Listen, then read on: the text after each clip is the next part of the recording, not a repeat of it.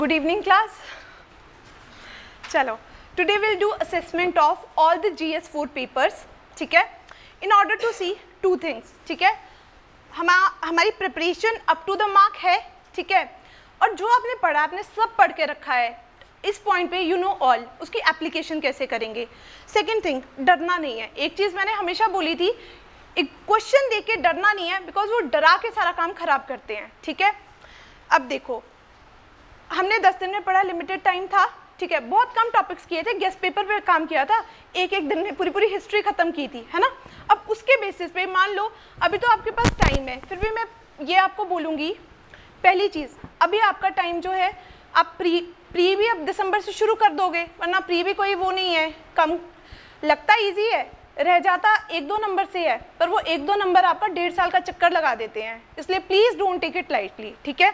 दिसंबर से शुरू करोगे, तीन बार रिवीजन करके, अच्छे से रिवीजन जब तक आपने तीन बार नहीं की ना, दिमाग में कुछ नहीं जाता प्लीज़ ट्रस्ट मी ठीक है? वैसे ट्रस्ट नहीं करना है तो मेडिकली ट्रस्ट कर लो यार, ठीक है? उसका भी है, ठीक है? अब सुनो। जीएस में पेपर वन ठीक है? अभी हम यहीं पे आंसर्स फ्रेम करेंगे और आप देखना, मैं नहीं, आप आंसर्स फ्रेम करोगे और आपको सब आता है, ठीक है? जिसने पीटी के ढंग से प्रिपरेशन की है ना मेंस की तो चलो हाँ कुछ चीज़ें बहुत अलग से करनी पड़ती है। लिखने का स्टाइल मेन है, ठीक है? Writing style matters a lot कुछ भी तो कोई भी लिखाएगा, है ना?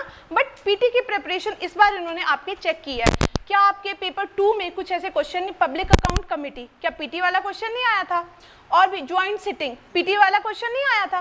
तो वही है जैसे और यहाँ पे भी मैं कह रही हूँ ना, ये चेंज करते रहते। इसमें भी इन्होंने आपका पेपर वन में पीटी का नॉलेज बहुत चेक किया। अब देखें कैसे। फ़र्स्ट क्वेश्चन था how do you justify the view that the level of excellence of Gupta numismatic art is not at all noticeable in later times. है The first thing when you read this question is that comes to your mind and your heart is only fear.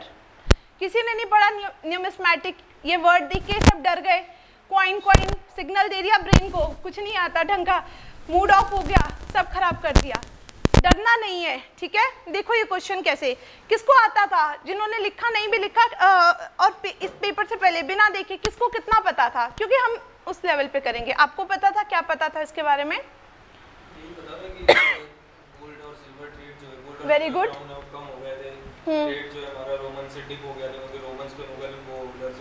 Attack दूसरा political destabilisation India में हो रहा था interest rate कम हुए थे। Guild system आ गया था, इस वजह से जो उनका डायरेक्ट एक्सचेंज था सेंट्रलाइज्ड वो धीरे धीरे कम होने लगा था। ठीक है ठीक है। अब सुनो, इन्होंने लिखा है level of excellence of Gupta numismatic art is not at all noticeable in later time ठीक है? न्यूमिस्मेटिक आर्ट ठीक है? क्वेश्चन ढंग से पढ़ना बहुत ज़रूरी है। अब देखो, ठीक है? नंबर देख लो, दस नंबर का है। दिमाग में रख लो, दस लाइन से ज़्यादा आपको नहीं लिखनी, ठीक है? लिखोगे, कहीं और कॉम्प्रोमाइज़ करोगे और जाओगे, ठीक है? क्लास में एक चीज़ बताई थी, ठीक है? आई होप जिन्होंने क्लास लगाने के बाद पेपर लिखा होगा, उन्होंने काफ़ी हद तक फ्रेमवर्क फॉलो किया होगा। आया था मुझे काफ़ी बच्चों का फ़ोन वो आ नहीं पाए हैं because they in their home town पर वो कह रहे थे कि काफ़ी हद तक उन्होंने किया है, ठीक है? चलो, देखो, ये क्वेश्चन देखे कोई भी बच्चा डर जाएगा। मैंने भी क्लास में नहीं करवाया था, ठीक है? झूठ तो हम बोलेंगे नहीं कि 100 परसेंट क्लास से आया था। हम ये बोलेंगे हम नहीं आया था ये पढ़ा हुआ क्लास से, पर आप फिर भी कर सकते थे अपनी बेसिक अंडरस्टैंडिंग से, जो मैंने आपको बार बार बोला कि यार इतना तो कर ही लो। देखो कैसे। गुप्ता न्यूमिस्मेटिक आर्ट एक चीज़ आपको सिखाई जाती है प्लीज़ देखो, ऐसे ही क्वेश्चन लिखे जाते हैं। Believe me I tried and tested अगर मेरे मीन्स क्लियर हुए हैं, मैं इंटरव्यू तक पहुंचू सिर्फ़ सिर्फ़ पढ़ने से नहीं, जब मैंने ये टेक्निक्स अपनाई, ठीक है? देखो इन्होंने बोला लेवल ऑफ़ एक्सीलेंस जो गुप्ता न्यूमिस्मेटिक आर्ट में है, वो लेटर पीरियड में हमें नहीं मिला, ठीक है? मैंने क्या बोला इंट्रोडक्टरी लाइन जो है, वो इंट्रोडक्शन होगी और वो आपको बहुत अच्छी सी देनी है, ठीक है? तो इतना तो सबको पता है कि गुप्ता पीरियड को क्या बोलते हैं? गोल्डन एज ठीक है? अच्छे से इंट्रोडक्शन यहीं से शुरू कर दी कि Gupta period which is known as golden age of Indian art and architecture ठीक है? Reflected its excellence even in numismatic art होगी इंट्रोडक्शन एक लाइन है ओनली टेन वर्ड्स ठीक है? यहाँ से उसको the introduction shows your confidence not your knowledge डरोगे तो नहीं लिखोगे ढंग से इंट्रोडक्शन मन ही नहीं करेगा यार। जब तक मन नहीं करता, आप खुशी से नहीं लिखते, ठीक है? सेकेंड चीज़ आफ्टर टेलिंग दिस टाइम ही नहीं है, दस नंबर का है ना तो एक जल्दी से जैसे फ्रेमवर्क बना लो, ठीक है? आफ्टर इंट्रोडक्शन अब आपको यहाँ पे क्या क्या बताना है? पहले ही सोच लो, बस इतना ही। यहाँ पे आप बताओगे कि गुप्ता पीरियड में ऐसा क्या हुआ, जो मतलब स्पेशल उन्होंने न्यूमिस्मेटिक आर्ट के बारे में पूछा। ये पता होना चाहिए।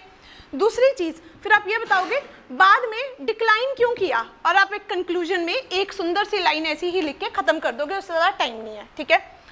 ये वाला पार्ट आप, गुप्ता पीरियड में क्या हुआ? फ्लोचार्ट बना सकते हो। कैसे? पीटी की प्रिपरेशन की है? सब नहीं की है? इतना तो पता है कि मौर्य जब आए थे पंचमार्क कॉइन शुरू हो गए थे। ये तो पढ़ा ही है सबने, है ना? तो आप ऐसे कर सकते हो कि जैसे मौर्यंस थे, उनके टाइम मतलब ऐसे लिख दो। मेरा फ्रैक्चर है, मैं ज़्यादा नहीं लिख सकती, ठीक है?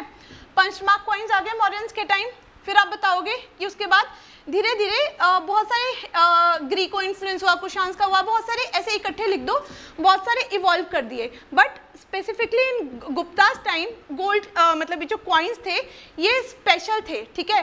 तो जो कि लेटर डिक्लाइन हो गए बिकॉज़ ऑफ़ वेरियस रीजंस तो ये आपने एक उनको ऐसे बता दिया मतलब कि पंचमार्क आ गए ये आ गए यहाँ पे बहुत ज़्यादा gold and silver coins affluence में uh, मतलब बहुत ज़्यादा नंबर में आ गए ये आपने हल्का सा लिखा। अब क्वाइंस की स्पेशलिटी अब आपको नहीं भी पता ना किसी क्वाइन में क्या है। डायग्राम बनाना है बनाओ ऐसे ही लिख दो फीचर्स इतना तो पता था कि गुप्तास जो थे ट्रेडिशनल हिंदू वो थे। तो भाई गॉडेस और गॉड तो होंगे ही होंगे। कॉमन सेंस यार paper is about common sense ठीक है? कॉन्फिडेंस शो करना है ना आपको, ठीक है? गॉड गॉड गॉडेसेस होंगे, ठीक है? सेकंड इसको बोलते हैं golden age of Indian art and architecture मतलब बाहर का इन्फ्लुएंस कम होके traditional Indian art and architecture reflect हो रहा होगा। अगेन कॉमन सेंस दो लाइनें मिल गई आपको लिखने को। फिर एक मिनट, फिर आपने पढ़ा था ये तो पीटी में सबने पढ़ा था कि इतने ज़्यादा गोल्ड समुद्रगुप्त के टाइम बहुत ज़्यादा गोल्ड एंड सिल्वर कॉइन्स बहुत ज़्यादा नंबर में वो थे ठीक है? तो इससे क्या पता चलता है? अगर कोई किंगडम जो है एनालिसिस पार्ट ठीक है? अगर कोई किंगडम बहुत ही आ, मतलब इतना वेल well कर रहा है अपनी इकोनॉमी में मतलब वो वो उससे पता चल जा रहा है ठीक है? तो इससे ये आप बता दोगे? इसकी वजह से फिर उन्होंने बोला ना न्यूमिस्मेटिक आर्ट तो आप बोल सकते हो डिटेल्ड डिस्क्रिप्शन किसकी? Gods goddesses kings and even depiction of pictures of animals ठीक है? The figures were so very elaborated मतलब ऐसे ऐसे लगा दो, क्योंकि अगर आप बुक खोल के देखो तो इससे ज़्यादा तो विकीपीडिया पे भी नहीं है। उन्होंने भी बस सिक्कों की शक्ल डाल दी है, ठीक है? और यही सब चार बातें हैं। ये तो वैसे ही आपने पढ़ा है, ठीक है? क्योंकि आप हर चीज़ नहीं पढ़ सकते ना एक्सेप्ट दिस ठीक है? पूरी उम्र भी लग जाए यार, वो भी नहीं पढ़ सकते। कैसे कितना कितना बैलेंस कर लोगे यार? ठीक है? इतना कर लिख के आपने कुछ फीचर्स लगा दिए। ये चीज़ मैं, ये, मैं देख के नहीं आई कहीं क्योंकि ये वो थी, मैंने कहा ना, हम खुद प्रिपेयर करेंगे। इतना तो पता ही होता है, ठीक है? फिर इसका, अब अब यहाँ पे आपने दो चार फीचर्स लिखे। अब दिस डिक्लाइन मैंने आपको क्या बोला था? जो पूछा है, उससे पहले कुछ चीज़ें बता देना। फिर लिखना तो लिखने में पैरामीटर्स मिल जाएँगे, सिर्फ़ डिक्लाइन डिक्लाइन अब डिक्लाइन सोचो क्यों हुआ, ठीक है? तो आप सोचो, उसके बाद, गुप्ता के बाद जो इंडियन रूलर थे, वो भी तो ख़त्म होते गए, ठीक है? फिर मुगल्स आ गए। मुगल्स जो है इनके टाइम बहुत अच्छा था। मुगल्स जो है, उन्होंने अपना मतलब फॉरेन इन्फ्लुएंस था, ठीक है? फिर उसके बाद ब्रिटिशर्स आ गए, उसके बाद ब्रिटिश इंडिया का इन्फ्लुएंस था। क्वीन एलिजाबेथ के नाम के वो स्टैंप होते थे एंड उनको उनको मेजर फोकस था उनको प्रॉफिट मैक्सिमाइजेशन जैसे बाकी सब थे। They did not pay that much interest in this kind of वो इकोनॉमी क्योंकि डिस्टेबलाइज होती गई उसके बाद। तो इस तरीके से आप दो और पॉइंट्स ठीक है कि इंटरेस्ट होता गया इस तरीके they did not pay that ठीक है क्योंकि इकोनॉमी क्वाइन का जो वो चीज़ है वो इकोनॉमी का लेवल बताता है कि कितना वेल टू डू और कितना इंटरेस्ट है। इस तरीके से आपने थोड़ा बहुत यहाँ पे लिख के ठीक है उसको देयरफॉर कंक्लूड करके वो कर दिया कि इवन टुडे मतलब क्वाइंस में हमें वो नहीं वो, वो नहीं मिल पा रहा है जो उस वक्त मतलब इतना था क्योंकि गोल्ड के उस वक्त सबसे ज़्यादा थे। इससे यही पता चलता ना इतनी रिच वो थे तो नहीं आता था कुछ नहीं आता था इस क्वेश्चन में। कुछ भी नहीं आता, ये वो क्वेश्चन है जिसमें कुछ भी नहीं आता था। आते वाले तो हम बहुत अच्छे पॉइंट्स लिखते हैं, है ना?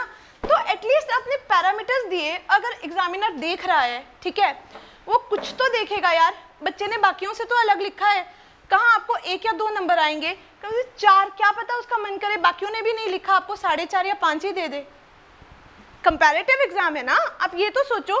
अगर आप डर जाओगे तो आप, आपका मन ही नहीं करेगा ये सब लिखने का। अब अगर आप ही सोच लोगे कि नहीं यार, मेरे को तो नहीं आता। फिर उसको कैसे पता? कुछ तो दिखाओ। कॉमन सेंस है ना? तो आधा पेपर तो कॉमन सेंस आधा नहीं। Thirty percent paper common sense का होता है, ठीक है? फोर्टी परसेंट होता है जो डायरेक्ट पढ़ा आता है। हर पेपर में होता है cut to cut because PT में भी तो ऐसा होता है। होता है पीटी में या नहीं? सब कुछ पढ़ सकते हैं। चालीस परसेंट डायरेक्ट क्वेश्चन आते हैं, कोई बेवकूफ़ भी कर देगा यार, ठीक है? मतलब बच्चे भी कर देंगे। उसके बाद टेस्टिंग होती है ना तो सेम पैटर्न मीन्स में है, ठीक है? जान मुझ के पहले डाला है। फ़र्स्ट क्वेश्चन डराने के लिए आप लोग को, ठीक है? चलो, ये था, मैंने आपको बताया कैसे हैंडल कर सकते। अब जिसने डर के मारे पहला क्वेश्चन ही छोड़ दिया तो आप समझ रहे हो मतलब एग्ज़ाम एज एन एग्जामिनर पहला क्वेश्चन ही खाली। थोड़ा तो यार, पूरा तो इमेज का क्वेश्चन पेपर है ये, ठीक है? समझे? हाँ ये वो क्वेश्चन है जो मुझे कुछ भी नहीं आता, ना आप आपको तो चलो मुझसे ज़्यादा ही आता होगा। मतलब मुझे कुछ नहीं आता इस क्वेश्चन का तो भी मैं इसको ऐसे करती, ठीक है? और मुझे पक्की गारंटी है, मेरे पास प्रूफ है।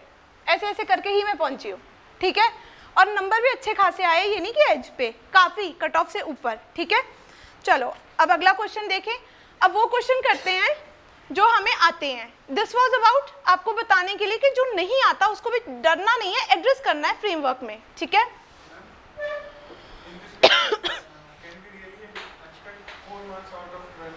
Hundred and ten percent. आप इनसे पूछो, ये आईपीएस है। सूरज, आपको क्या लग रहा है? मिलेंगे नंबर? मतलब जो आता है है।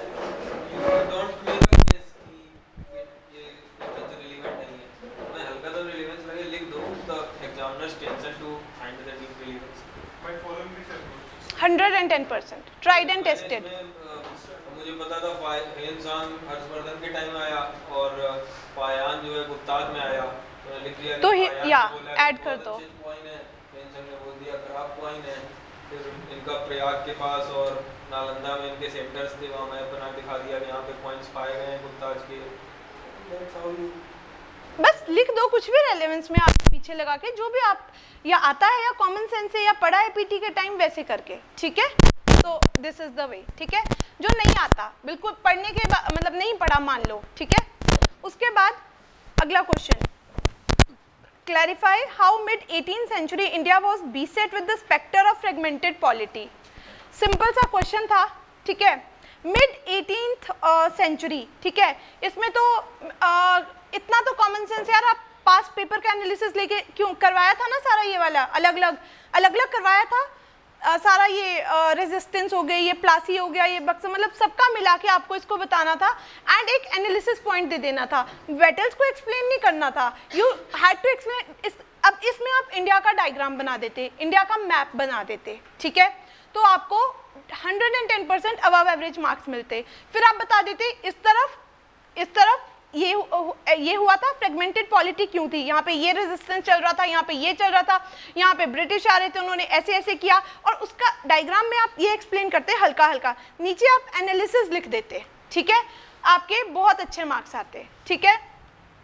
ये तो पढ़े से आया था डायरेक्टली हम्म? अगला क्वेश्चन था वाई मॉडरेट फेल यार ये तो मतलब हर किसी को आता होगा। ठीक है, ये तो सिंपल पीटी का क्वेश्चन है मेंस में भी प्रिपेयर किया होगा, ये तो क्लास का क्वेश्चन है। ये तो लिखवाया है लिटरली ठीक है? द थिंग इज़ कि जब हम, वैसे तो पीटी के लिए हम सब पढ़ते हैं, पर जब मेंस आता है तो सब कुछ बैलेंस नहीं हो पाता। तो उस वक्त, इसीलिए अभी से अपने दिमाग में कुछ चीज़ें क्लियर करके चलो, क्योंकि वो घूम रहे हैं, ठीक है? वो पीटी वाले पॉइंट पे भी आ रहे हैं, ठीक है? फिर अगला था हाँ ये क्वेश्चन करते हैं। What problems were germane to decolonisation process in Malay peninsula ठीक है? भाई, पहले मैंने सबको बोला था वर्ल्ड हिस्ट्री से एक ही क्वेश्चन आता है तो वर्ल्ड हिस्ट्री का भूत तो सर से उतार ही दो। डेढ़ दिन में की थी ना हमने वर्ल्ड हिस्ट्री ठीक है? हमने बहुत कुछ किया, फिर भी इन्होंने गेम खेली, ठीक है? आपने नहीं, किसी ने कुछ नहीं पढ़ा होगा हल्का फुल्का किसी को आइडिया होगा। लेकिन, क्या हमने डिकोलोनाइजेशन एशिया का किया था? किया था डिकोलोनाइजेशन एशिया का? हाँ फ्रेमवर्क तो याद होगा दिमाग में। पल किया था डिकोलोनाइजेशन एशिया का? टकी टुकी सारा करवाया था। यार, वो इस साइड वाले सारे ईरान वगैरह, उसके बाद वो नीचे, फिर इस साइड वाला सारा करवाया था, है ना? डिकोलोनाइजेशन तो बस एटलीस्ट फ्रेमवर्क दिमाग में हो। फिर एक चीज़ और। What problem was germane to decolonisation process in Malay peninsula एक पॉइंट स्पेसिफिक है। ठीक है? One point is very specific और वो वही ढूंढेंगे। ठीक है? वही वही पॉइंट ढूंढेंगे वो। पर बाकी तो लिख ही सकते हो ना? है ना? बाकी तो जनरल ही है ठीक है? तो इस तरीके से आप थोड़ा आ, आ, कौन से डीकोलोनाइजेशन की जनरल प्रॉब्लम्स क्या हो सकती हैं आप बताओ। मतलब हर जगह सेम हाँ। शुरू और क्वेश्चन का फ्रेमवर्क कैसे रखोगे? फ्रेमवर्क क्या होगा इस क्वेश्चन का? दस नंबर का है ये भी। Starting with what is decolonisation ठीक है? इंट्रोडक्शन व्हाट इज़ डीकोलोनाइजेशन बता सकते हो ना आप? क्या करवाया था? कौन सा रिलेशनशिप होता है कॉलोनियल पावर और उस कंट्री में? कौन सा रिलेशनशिप होता है? रिलेशनशिप ऑफ़ एक्सप्लॉयटेशन है ना? डायग्राम भी बनाया था एक। ऐसे करके डायरेक्टली प्रोपोर्शनल वाला, है ना? कॉलोनियल पार तो वैसे आप लिख सकते थे यहाँ पे कि जो कॉलोनियल पार्स थी, वो इतना एक्सप्लॉयटेशन करती थी उन कंट्रीज़ का, ठीक है? And eventually due to many factors the process of decolonisation मतलब इसको लिंक करते and but it face many problems as in the case with Malay peninsula ठीक है?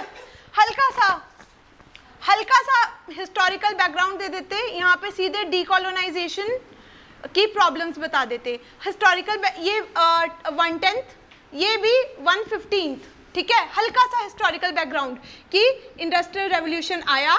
यहाँ पे हल्का सा वो, बताने के लिए कि इंडस्ट्रियल रेवोल्यूशन आया दिस कॉलोनीज के लिए वो वो कंट्रीज़ आई ठीक है and finally drain of wealth ठीक है एक्सप्लोइटेशन एंड अल्टीमेटली फिर डीकोलोनाइजेशन ये हल्का सा ऐसा कुछ करके अब मले पेनिनसुला में क्या दिक्कत आई? क्या क्या प्रॉब्लम आई? कुछ कॉमन प्रॉब्लम्स है? क्या क्या कॉमन प्रॉब्लम्स थी? एक स्पेसिफिक थी, बाकी सब कॉमन जो डीकोलोनाइजेशन में आएँगी फ़र्स्ट अनविलिंगनेस अनविलिंगनेस तो सबकी होगी ना, ठीक है? जब तक आफ्टर वर्ल्ड वॉर टू ठीक है? आप लिख सकते थे कि ब्रिटेन और ये कंट्रीज़ ये बहुत कमज़ोर हो गई थी, ठीक है? वीक हो गई थी and they felt strong internal resistance but still they did not want to lose control ठीक है? तो उसके बाद पहले तो will of the country to maintain ठीक है? फिर उसके बाद इंस्टेबिलिटी ठीक है? फिर उसके बाद आप और क्या क्या डाल सकते हो और क्या क्या प्रॉब्लम्स हो सकती हैं? तो मल्टी मतलब ये वाला फ्रेंच का बगल वाला मतलब बगल वाला डच का है इस वजह से क्या था और इनमें क्या था जैसे ब्रिटिश फ्रेंच कॉलोनी हट रही है तो ब्रिटिश वाले हेल्प कर देते थे फ्रेंच को कि तुम मतलब हेल्प हम्म। करते रहो। तो इंडिया में जैसे चैलेंज था कि ब्रिटिशर जानते थे कि हम सर्वाइव ही नहीं कर पाएँगे। वहाँ पे ऐसा ये चैलेंज नहीं आ रहा था तो डिले हो रहा था थोड़ा। दूसरा क्या हुआ कि वहाँ पे जब आज़ादी आई तो उसके बाद बहुत सारे मिलिट्री डिक्टेटर्स आ गए। जैसे सुकर्णो पोल पोर्ट ये सब इमर्ज हो गए। Communalism was the specific reason इसलिए उन्होंने पूछा यही देखना चाहते थे वो। जापान वो चाहता था इसको ऑक्यूपाई करके अपना वो करना। And this capitalist countries they feared ठीक है? ये एक स्पेसिफिक प्रॉब्लम है। यही मैं मतलब this was the main reason ठीक है? बाकी सब तो जनरल आप लिखोगे पर सबसे पहले स्पेसिफिक आनी चाहिए। ये भी ऐसा क्वेश्चन है जो मोस्ट लोगों ने प्रिपेयर नहीं किया था ठीक है?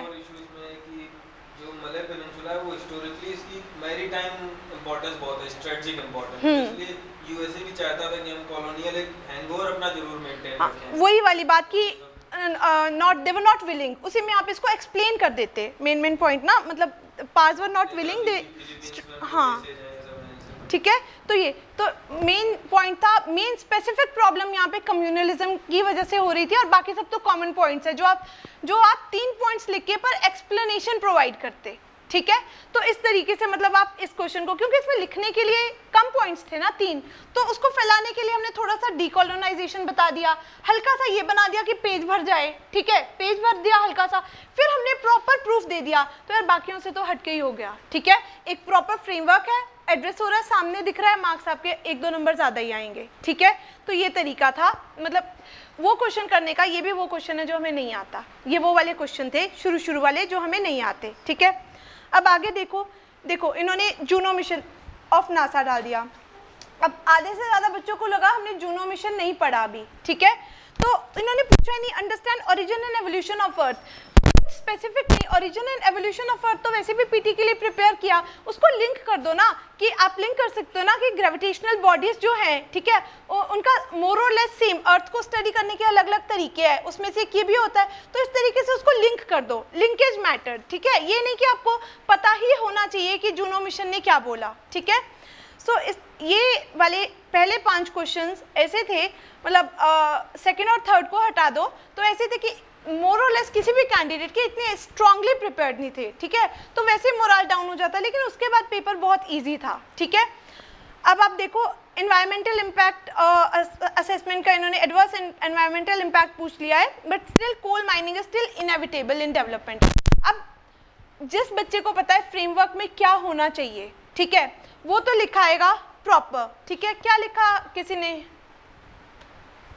क्या लिखा इस क्वेश्चन में? बताओ। आपने क्या लिखा?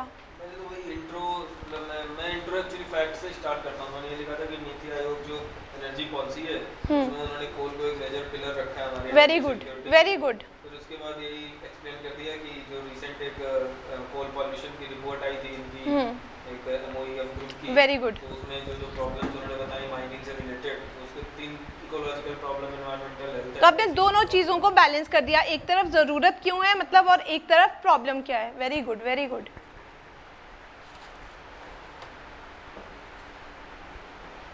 China से कंपेयर कर दिया था मतलब चाइना में एक्चुअली सेम प्रॉब्लम आई थी 2000 टू 2010 बहुत भयंकर कोल पॉल्यूशन उन्होंने झेला था but they balanced it by changing from open cast mine to close cast mines directly सही है इंटरनेशनल एग्जांपल और एट द एंड आप एक चीज़ और कर सकते थे कि दिस um, थोड़ा फॉरवर्ड वे फॉरवर्ड में दे सकते थे कि obviously it is inevitable but इसको थोड़ा सा लिंक कर दो इंडिया की कमिटमेंट पैरिस डील वगैरह से जिसकी वजह से हम रिन्यूएबल एनर्जी की तरह शिफ्ट कर रहे हैं। तो एक आपने फ्यूचरिस्टिक दे दिया कि हाँ it is it may be inevitable right now at this level of development of technology but we are moving towards ठीक है? तो उससे उसको थोड़ा अच्छा और फ्लेवर आएगा ठीक है? तो ये। ठीक है? बाकी इसमें आपको वही करना था कि क्यों नीड है ठीक है? इसमें आप अपना पूरा इकोनॉमी का नॉलेज डाल सकते थे। हमें क्यों चाहिए? हमारे मैन्युफैक्चरिंग को हम इतना प्रमोट कर रहे हैं मेक इन इंडिया को हम प्रमोट कर रहे हैं ठीक है? और एनर्जी सिक्योरिटी हमारा मेन इशू है and coal is our own resource we have even this ठीक है? तो इस तरीके से मतलब इसमें आपका इकोनॉमी का नॉलेज पूरा आता, ठीक है? तो क्वेश्चन बेशक पेपर वन का है बट आपको दिमाग इसमें नहीं लिमिटेड रखना कि बस पेपर वन का करना है, ठीक है?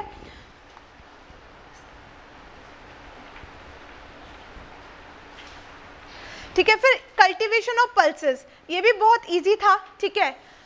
पैरामीटर्स फ्रेमवर्क फॉलो करोगे एग्जाम्पल्स डालोगे, कोई रिपोर्ट रिपोर्ट डालोगे तो ज़्यादा मार्क्स आएँगे, वरना नॉर्मल मार्क्स तो जो सिंपल लिखेगा, उसको चार नंबर जो कुछ अच्छा लगा देगा।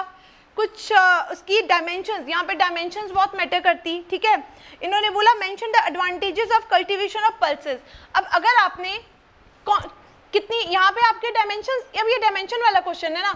सोशल इकोनॉमिक पॉलिटिकल ठीक है? बायलेटरल ठीक है? इसमें आप इतनी सारी डायमेंशंस डाल सकते थे, ठीक है? कैसे कैसे बताओ? जल्दी जल्दी बताओ। हल्का सा मतलब ये क्वेश्चन डायमेंशंस वाला है। हम्म? कल्टीवेशन ऑफ़ पल्सेस के एनवायरमेंटल डायमेंशन है। क्या है? लेग्यूमिनस है। फिक्सिंग नाइट्रोजन नाइट्रोजन फिक्स करते हैं सॉइल को फर्टाइल करते हैं। इंडिया को लिंक कर देते। India suffering from the problem of soil desertification ठीक है? जिसका सॉल्यूशन क्या है? एक लेग्यूमिनस प्लांट्स को हम कर सकते हैं। एनवायरमेंटल डायमेंशन आ गया। See I am not able to write everything but I अगर मैं फास्ट जा रही हूँ तो मुझे रोक देना, ठीक है? Second cheese what what is second thing import बाद में करते हैं। पहले प्रोटीन सिक्योरिटी माल नरिशमेंट आपको इसको एक्सप्लेन करना होगा कि माल नरिशमेंट जो इंडिया के लिए इतना बड़ा चैलेंज है, उसको बैलेंस करने के लिए and majority of Indian population is vegetarian so in that case protein this pulses this is protein security के लिए बहुत ज़रूरी है हमारा, ठीक है? इसको आप लिंक कर सकते थे। एक्सप्लेन करना है ना, सिर्फ़ नाम नाम लिखोगे नंबर नहीं मिलेंगे। बच्चे क्या कर रहे हैं? सुन, कहीं सुन लिया है। सोशल इकोनॉमिक पॉलिटिकल नाम नाम लिख, लिखते हैं पेपर में सोशल इकोनॉमिक पॉलिटिकल फिर आगे नहीं समझ आता कैसे एक्सप्लेन करना फिर अपनी मर्ज़ी से कुछ लगा देते हैं। आपको एक्सप्लेन करना है प्रॉब्लम को सॉल्यूशन से लिंक करना है ठीक है? और क्या इसका सॉल्यूशन है पल्सेस का और क्या एडवांटेजेस है पल्सेस की? एक एनवायरमेंटल आपने बता दी प्रोटीन सिक्योरिटी अपने फ़ूड सिक्योरिटी आपने बता दी। और क्या आप, इसको आप इकोनॉमिक फार्मर सुसाइड से रिलेट कर सकते हो? ठीक है? मोनोकल्चर की प्रॉब्लम ये भी आप उससे डिस्कस कर सकते हो। ठीक है? फिर गवर्नमेंट का एमएसपी ये बर्डन जो उसके ऊपर आ रहा है फ़ूड सब्सिडीज आपको इंडियन इकोनॉमी से इसको लिंक कर सकते हो कि फ़ूड सब्सिडीज का इतना बर्डन गवर्नमेंट के ऊपर है। ठीक है? तो अगर क्रॉप डाइवर्सिफिकेशन होती है, कहीं ना कहीं से वो भी सॉर्ट आउट हो रहा है। ठीक है? और और आप इसको किसी बायोलिटरल से भी लिंक कर सकते हो। ठीक है? क्योंकि इंडिया की मैक्सिमम, इंडिया के पास लैंड एरिया तो ज़्यादा है ही ना, ठीक है? और पल्सेस क्या है? ड्राई लैंड क्रॉप है। तो इसको आप लिंक कर सकते हो कि हम इसको इवन स्मार्ट एग्रीकल्चर में हम इसको यूज़ कर रहे हैं। ड्रॉट ड्रॉट दस टॉलरेंट क्रॉप्स में, है ना? तो ऐसे इसके इतने एडवांटेजेस आप बता सकते हो जिसका हिसाब नहीं है, ठीक है? पर बच्चे सोचते पल्सेस क्या लिखे? तो वही है ना, चार और छः नंबर में दो नंबर का फ़र्क नहीं है। पूरे पेपर में कितने नंबर का फ़र्क है? बीस क्वेश्चन है। चालीस नंबर का फ़र्क है और चालीस नंबर में टॉपर और फ्लॉपर। ठीक है? यहीं पे डिफरेंस पड़ जाता है सारा। तो आपको डायमेंशंस मेंशन करनी है, ठीक है? अब देखने में कुछ तो इजी लगता है वो होता नहीं है, इतना हमेशा याद रखना। मुश्किल वाले, ये पहले वाले तो किए जो आते नहीं थे। उनमें तो लगा दिए भाई, पेज भरने हैं, ढंग से भरने हैं, ये नहीं कि बकवास लिखी। पर ये तो आता है है ना? ये तो न्यूज़पेपर्स में है सिलेबस में है, हर जगह है है ना? Next question how does cryosphere affect global climate भाई, ये तो पूरा डायग्राम के साथ क्लास में कराया था। इतने डायमेंशंस कर दिए थे, इतने डायमेंशंस कर दिए थे। कोई रिपीट करना चाहेगा? Rajesh. Cryosphere how does cryosphere affect global climate याद रखना ग्लोबल क्लाइमेट क्लाइमेट का क्वेश्चन सिर्फ़ ग्लोबल क्लाइमेट है तो सिर्फ़ क्लाइमेट लिखोगे? कैसे एड्रेस करते हैं इसको? किसने किया एड्रेस आपने। पहले तो बता दिया था कि मैं आईपीसी से एयर फाइव रिपोर्ट स्टार्ट किया मैंने इंट्रो कि, वो बोलती है कि 2050 तक आर्टिकल गायब हो जाएगा अंटार्कटिक। उसके बाद वही में लिख दिया था। एक तो विंड सिस्टम के इम्पैक्ट लिख दिया था, फिर ओसिन सिस्टम पे इम्पैक्ट फिर ग्लोबल थर्मल बैलेंस पे इम्पैक्ट बायोडाइवर्सिटी पे इम्पैक्ट मानसून पे इम्पैक्ट तो वहाँ से वो लार्सन सी छूट रही है तो दुनिया का पानी बढ़ जाएगा तो सब डूब जाएँगे। ठीक है। ठीक है। How does cryosphere effect global climate ठीक है? अब ध्यान से सुनो। Uh, जब हम क्वेश्चन पढ़ते हैं क्रायोस्फेयर तो पता होना चाहिए पहले क्रायोस्फेयर बोलते किसको हैं? ठीक है? This is very easy term but कई बार नहीं पता होता तो नहीं पता ठीक है? अब ग्लोबल क्लाइमेट ठीक है? तो इस आपको इसको शुरू करना था मतलब जैसे भी आपने शुरू किया यस uh, पहले तो आप uh, इसमें ग्लोबल क्लाइमेट ट्राइमेरिडियन सर्कुलेशन पढ़ा था? हम्म? बताया था ना उसमें ट्राई मेरेडियन सर्कुलेशन में कैसे होगा? जब ट्राई मेरेडियन सर्कुलेशन आपके दिमाग में आ गया तो आपके प्राइमरी सर्कुलेशन है वो, उसी से सेकेंडरी उसी से टर्जरी क्लास में लिंक किया था। इसको शुरू करना था प्राइमरी सर्कुलेशन से और उसी से आप इसको मानसून तक लेकर आते लोकल विंड्स तक लेकर आते। पूरे डायग्राम से आप शो कर सकते थे कैसे इस, हर चीज़ को इम्पैक्ट कर रहा है global climate and ultimately climate कैसे कर रहा है ह्यूमन लाइफ को। इसको भी आप लिंक करो एक एक लाइन का है यार, ये ज़्यादा है ही नहीं। ये देखो ठीक है?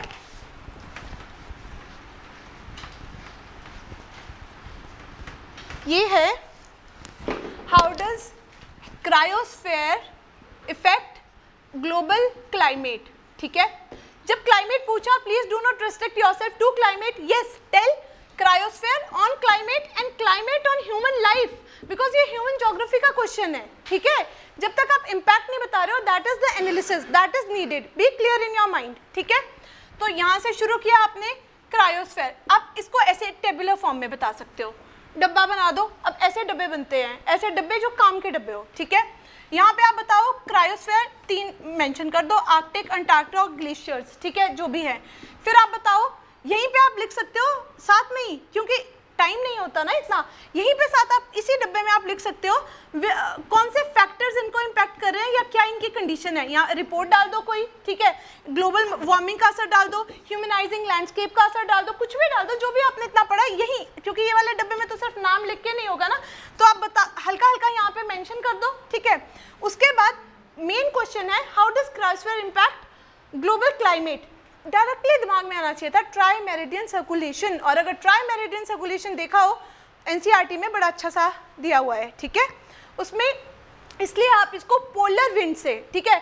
ईस्टर्ली आ गई वेस्टर्ली आ गई टेम्परेट साइक्लोन आ गए ट्रॉपिकल साइक्लोन आ गए मतलब इसमें हर कुछ लोकल विंड्स मैंने कहा ना मानसून तक, सब कुछ इसमें आ जाएगा। यहाँ तक कि आपकी हीट वेव्स भी, जो ये हो रहा है, ठीक है? क्योंकि ultimately climate is a is globally linked ठीक है? वहाँ से चल के आ रहा है। वो आप यहाँ पे इस पार्ट में एक्सप्लेन करते। तरीका इसको एक्सप्लेन करने का ठीक है? आ, वो तभी आप इसको तभी कर पाओगे अगर आपने पहले प्रिपेयर किया है। वहाँ पे तो क्वेश्चन ही नहीं समझ आता आप आंसर्स कैसे लिखोगे ठीक है? सो so, इस क्वेश्चन से सीख लो कि जब पीटी के लिए पढ़ रहे हो ना तो ऐसे मत देखो कि यार एमसीक्यू टिक कर लेंगे। ऐसे पढ़ो। क्वेश्चन मीन्स का भी अटेम्प्ट करें ठीक है? तो यहाँ पे आप उसको लिंक कर दो, ठीक है? कि जैसे ट्राई कैसे उसको इम्पैक्ट करेगा और प्लीज़ ये वाला पार्ट मत भूलना। ह्यूमन इम्पैक्ट ज़रूर लिखना कि इससे क्या हो रहा है। फ़ार्मिंग कम्युनिटी पे एनिमल्स पे एंडेमिक स्पीशीज पे, ठीक है? पूरा वो इम्पैक्ट लिखना। ये एक आपका होलिस्टिक आंसर एक डिब्बे में हो गया। और ये चीज़ तो प्रिपेयर लिखा पल्लवी? लिखा? वेरी गुड वेरी गुड ठीक है? वेरी गुड तो इस तरीके से फिर आपको समझ आ जाएगा। एक ही डिब्बा बनाने की ज़रूरत है, उसी में सब कुछ लग गया, लिखने की कोई ज़रूरत नहीं है। यार, यही क्लियर हो गया। यही एग्जामिनर को समझ आ गया आपको कितनी नॉलेज है, ठीक है? तो इस तरीके से सूरज, ठीक है ये डिब्बा? ठीक है? चलो, फिर उसके बाद अगला ये ख़त्म हो गया जोग्राफी वाला। यार कल्चर वाले पार्ट बहुत इजी क्वेश्चन थे, पर अगेन क्वेश्चन इजी होता है, पर आपको आंसर उतना ही अट्रैक्टिव बनाना पड़ता है, ठीक है? तो कल्चर तो कर ही लिया था अच्छे से कुछ भी। शेड्यूल ट्राइब्स पिछले तीन साल से बोला था ना, पूछ रहे हैं शेड्यूल ट्राइब्स अच्छे से प्रिपेयर किया था, इसमें तो कुछ भी नहीं था। This was one of the most easiest पर जो तरीका सिखाया था कैसे इसको बैलेंस करना है शेड्यूल ट्राइब वाले को? There are two major legal initiatives by state since independence addressing discrimination against schedule tribe क्या सिर्फ़ डायरेक्टली आप लीगल इनिशिएटिव्स पे आ जाते? हम्म? कैसे बताया था करने को? Because this is the way to address means and this is the only way ठीक है? सिर्फ़ लिख के देख लेना। I use to write I use to write to the point जो क्वेश्चन पूछा है, लिख के आती थी। क्लियर ही नहीं होता था, समझ ही नहीं आता था, गलती क्या कर दी? बाद में जब पता चला तो इतना अफसोस हुआ कि यार मतलब हद है। मतलब कोई मुझे भी बता देता कि ऐसे लिखते हैं ठीक है? सो so, जब पूछा इन्होंने two major legal initiative by state since independence addressing discrimination against schedule tribe हल्का सा बैकग्राउंड दोगे शेड्यूल ट्राइब्स के ऊपर कि क्या उनके कंडीशन थी ड्यूरिंग ब्रिटिश रूल किया था ना और कैसे फ्रेमवर्क इसको फ्लो चार्ट में बता सकते थे? इत, बता सकते थे? This is the way to just you know address question ठीक है? अब दो मेजर लीगल इनिशिएटिव पूछे कितने आप? फॉरेस्ट राइट एक्ट 2006 लिख दो ठीक है? आप फिफ्थ शेड्यूल सिक्स शेड्यूल लिख दो ठीक है? आप पीसा लिख दो आप कुछ भी लिख दो यार इतने सारे मतलब वो है ठीक है? तो दे सिर्फ़ उन दो को नहीं लिखो। आप पहले मैंने क्या बोला था कि उनको एनालिसिस चाहिए आपका। तो आप पहले उनको समझाओ तो कित, और कितना वन थर्ड पार्ट बोला था मैंने ठीक है? तो कैसे इस क्वेश्चन को आप एड्रेस कर सकते थे?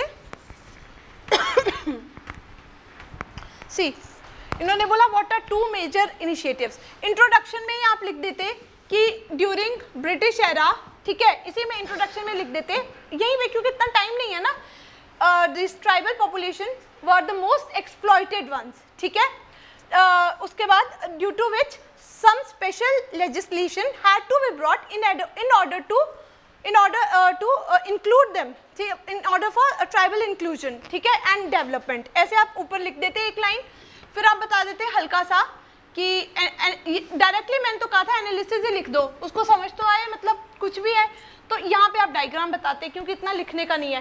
फिर कोई चीज़ आई क्यों आई? कुछ तो प्रॉब्लम होगा ना। One third part you have to mention about the problem फिर आप लीगल इनिशिएटिव्स बताते जो आए हैं जैसे दो पूछे तो टाइम नहीं है, जल्दी से ऐसे ऐसे दो लिख देते। यहाँ भी सिर्फ़ लिख के उनके बारे में, इनका भी analysis analysis is what they ask for और यहाँ पे वे फॉरवर्ड से क्वेश्चन खत्म करते हैं। ये स्पीड आपकी तभी बनेगी अगर आप रोज़ प्रैक्टिस करोगे, अगर आप सोच रहे हो कि आप वहीं आइंस्टाइन बन जाओगे तो सॉरी ये नहीं होने वाला। ठीक है? प्लीज़ डू प्रैक्टिस एकदम दिमाग में आ जाना चाहिए कैसे? इसको चलो वन मतलब ट्वेंटी परसेंट पार्ट ले लो। कुछ तो आप बताओगे कि ट्राइबल प्रॉब्लम क्या चल रही थी जो उनके लिए स्पेशल आना पड़ा। नाम नाम ही लिख दो डिस्प्लेसमेंट लैंड एलियनेशन एक्सप्लोटेशन कुछ भी लिख दो indebtedness poverty health issues cultural loss तो ये ऐसे एक हल्का सा बता दो, क्योंकि आपने इंट्रोडक्शन में लिख दिया है, ठीक है? फिर आप लिखो therefore specific legal initiate there many specific legal initiatives like ठीक है? दो को मेंशन कर दो। कोई भी दो जो आपका मन हो, ठीक है? फिर उसका हल्का सा एनालिसिस एक लाइन पॉजिटिव एक लाइन नेगेटिव पॉजिटिव में उन्होंने, उसने क्या किया? नेगेटिव में कहाँ फेल हो गए? एंड वे फॉरवर्ड को ही कंक्लूजन बना दो। इसी के साथ कंक्लूड कर दो कि because of this thing because of this thing ठीक है?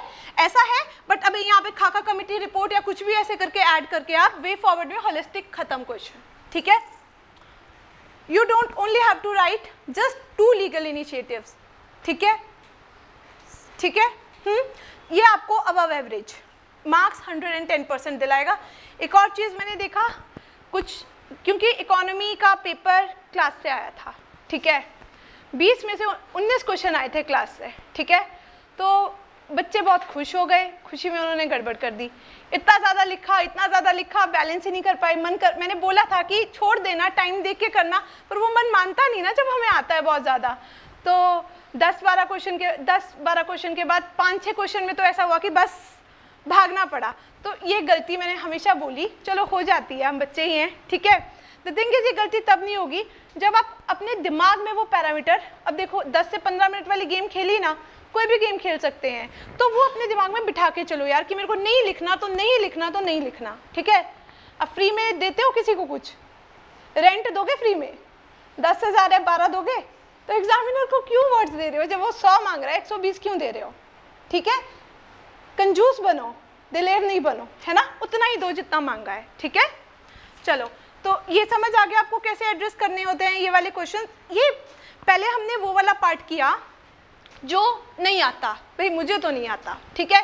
फिर भी मैं उसको करूँगी, क्योंकि मुझे पता है, एक, मान लो चार क्वेश्चन नहीं आते ढंग से, ठीक है? दो लाइन लिखने के बजाय मैं पूरा पूरा लिख रही हूँ।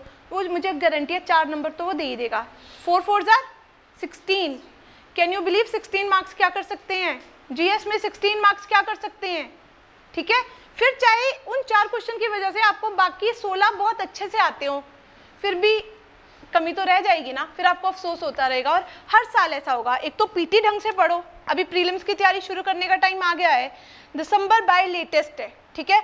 दिसंबर में करना ही करना है। चाहे उनको नहीं करना जो ऑलरेडी ट्रिक्स जानते हैं, जो हर साल, उनको तो फिर 25 दिन में पढ़ के पेपर निकलता है है ना? पर जिनको ट्रिक्स नहीं आती, उनको नवंबर से शुरू करना है, ठीक है? दिसंबर से सॉरी ठीक है? तो ये, और फिर हमने सेकेंड फॉर्मेट में किया वो क्वेश्चन जो सबको आते हैं। ये तो सबको आते हैं ना? पर कैसे अलग होगा? तो ये, ठीक है? कमिटीज डाटा रिपोर्ट वो सब हम अलग से प्रिपेयर करते हैं। वो जहाँ जहाँ डलता है, डालते जाओ। पर फ्रेमवर्क मत भूलो, ठीक है? आप देखोगे कि कुछ ऐसे बच्चे हैं जैसे बहुत टॉपर्स हैं वो टॉप टेन में है टॉप हंड्रेड में है। उन्होंने बोला यार हमें तो आता ही नहीं था हम आगे पीछे का ही लिखते रहे हमें नहीं पता हम कैसे बन गए। कितनी बार बताया है क्योंकि यही आगे पीछे का वो लिखे एग्जामिनर को डायमेंशन मिल गई उसको अच्छा लगा बन गए ठीक है? तो ये उसके बाद अब हम देखते हैं ये कल्चर वाले तो आप कर लोगे सो, आ, सोसाइटी वाले। एक क्वेश्चन इजी आए थे ये जोग्राफी में बाद में उन्होंने सेलिनिटी डाल दिया पेट्रोलियम रिफाइनरी चलो जी देखो व्हाट इज़ द सोर्स ठीक है एक बार दो तीन क्वेश्चन देख लेते हैं फिर देख लेते हैं सोर्स क्या है पेपर वन का पूरा अच्छे से करने का। ठीक है? फ्लड्स लास्ट ईयर उन्होंने फ्लड्स पे चार क्वेश्चन पूछे थे। ठीक है अलग अलग पेपर में अलग अलग एक ही में दो दो फ्लड्स उन्होंने फिर डाल दिया लेकिन किसमें? सोर्स ऑफ़ इरिगेशन में। सिंपल क्वेश्चन है uh, पर फ्रेमवर्क यही है। मतलब हर क्वेश्चन का मैं नहीं बना सकती। मैं बस आपको ग्लिम्स दे रही हूँ कि फ्रेमवर्क बहुत मैटर करता है, ठीक है? अगर ये पूछा है, यहाँ पे आपको एग्जाम्पल्स बहुत मैटर करते हैं, जो न्यूज़पेपर में बहुत आ रहे हैं, ठीक है? कि कैसे जो इनलैंड नेविगेशन जो शुरू हो चुके हैं, कितने से आ रहे हैं? तीन चार साल हो गए आते आते ठीक है? नर्मदा शिप्रा समिस्ता प्रोजेक्ट ठीक है? मिला रही हैं, ठीक है? फिर उसके बाद इतने हैं मतलब अभी पढ़ाने की क्लास नहीं है, वरना मैं दस गिना देती मतलब द थिंग इज़ कि बहुत आ रहे आई जा रहे हैं आई जा रहे हैं। You have to know this चार चीज़ें होती है मेंस को क्लियर क्रैक करने की, ठीक है? पता होना चाहिए पढ़ना क्या है। फिर पता होना चाहिए उस पढ़े हुए का यूज़ कैसे करना है। बस पढ़ते रहो पढ़ते रहो, पूरी उम्र पढ़ते रहो। नहीं, ठीक है? तीसरी चीज़ फैक्ट्स को कैसे एक्यूमुलेट करना है और कहाँ यूज़ करना है। और चौथी चीज़, लिखना। और चौथी चीज़ सबसे मेन है। पर चारों पॉइंट्स बहुत ज़रूरी है, ठीक है? फिर उसके बाद वुमेन हाँ जी वेमेन क्लास से? हाँ? फिर उसके बाद रिलीजियस की कम्युनिज्म सिंपल सा क्वेश्चन था। आईटी हब बैंगलोर वाला क्वेश्चन डिस्कस किया था हमने क्लास में आईटी है ना? रिलेटेड प्रॉब्लम्स तो लिंक कर ही सकते हो, लिख दिया होगा फ्रेमवर्क पूरा। हम्म? ठीक है? सो द थिंग इज़ कि अब ये देखते हैं कहाँ से करना है, ठीक है? इस बार इन्होंने चेंज किया पैटर्न अपना। हो सकता है इसको फॉलो करें, हो सकता है अगले साल फिर से चेंज कर दें। हमें उससे मतलब नहीं है, हमें पेपर निकालने से मतलब है। हर हाल में हमको क्लियर चाहिए पेपर अब चल रहा है, ये पेपर वन का था, मैं बाकी पेपर का थोड़ा थोड़ा बताती हूँ कुछ। पहले ये सुनो। अभी चल रहा है मंथ नवंबर जिन्होंने तो पेपर दे दिया, एक दिन भी मत निकालना सोचने में, ठीक है? जिनके पास अटैम्प्ट बचे हैं, ठीक है? टेंशन मत लो। जिसने मीन्स लिखा, समझो उसका एक लेवल वैसे ही है, ठीक है? तो अभी तो रिलैक्स करो। नवंबर महीना पूरा तो नहीं, बीस तक तो कर ही सकते हो, है ना? रिलैक्स धीरे धीरे फिर बैकअप आने में भी टाइम लगता है है ना? तो द थिंग इज़ कि अब हम कैसे प्रिपरेशन करें? ये वाला मीन्स का पूरा चारों देखकर, कैसे हम अभी तैयारी कैसे शुरू करें? एक तरफ़ पीटी है, एक तरफ़ मेंस है। अगर आपके पास अभी, जो मैंने सबको बोला है कि मेंस का मटेरियल एक जगह रेडी नहीं है और आपके दिमाग में फ्रेमवर्क्स नहीं है, आपके दिमाग में डाटा नहीं है रेलिवेंट तो फिर आपकी प्रिपरेशन नहीं है अभी। ठीक है? प्रिपरेशन बहुत मैटर करती है, ठीक है? फिर आप पढ़ते रहो, उसका कोई फ़ायदा कभी भी नहीं मिलेगा, है ना? सुनो पेपर वन के लिए what is the source material आपको कहाँ से पढ़ना है, कैसे करना है, क्या करना है, ये है। Source material for paper one art and culture एक क्वेश्चन आया इस बार। इससे पहले दो आ रहे थे। चौबीस नंबर के आ रहे थे इस बार दस नंबर का आ गया, ठीक है? और आता भी वो है कि हटके आ रहा है या हो सकता है पढ़ा हुआ भी आए। पीटी के लिए आर्ट एंड कल्चर पढ़ोगे? पीटी में भी तो क्वेश्चन आते हैं ना आर्ट एंड कल्चर के। इस तरीके से पढ़ लेना, कहीं से भी पढ़ो।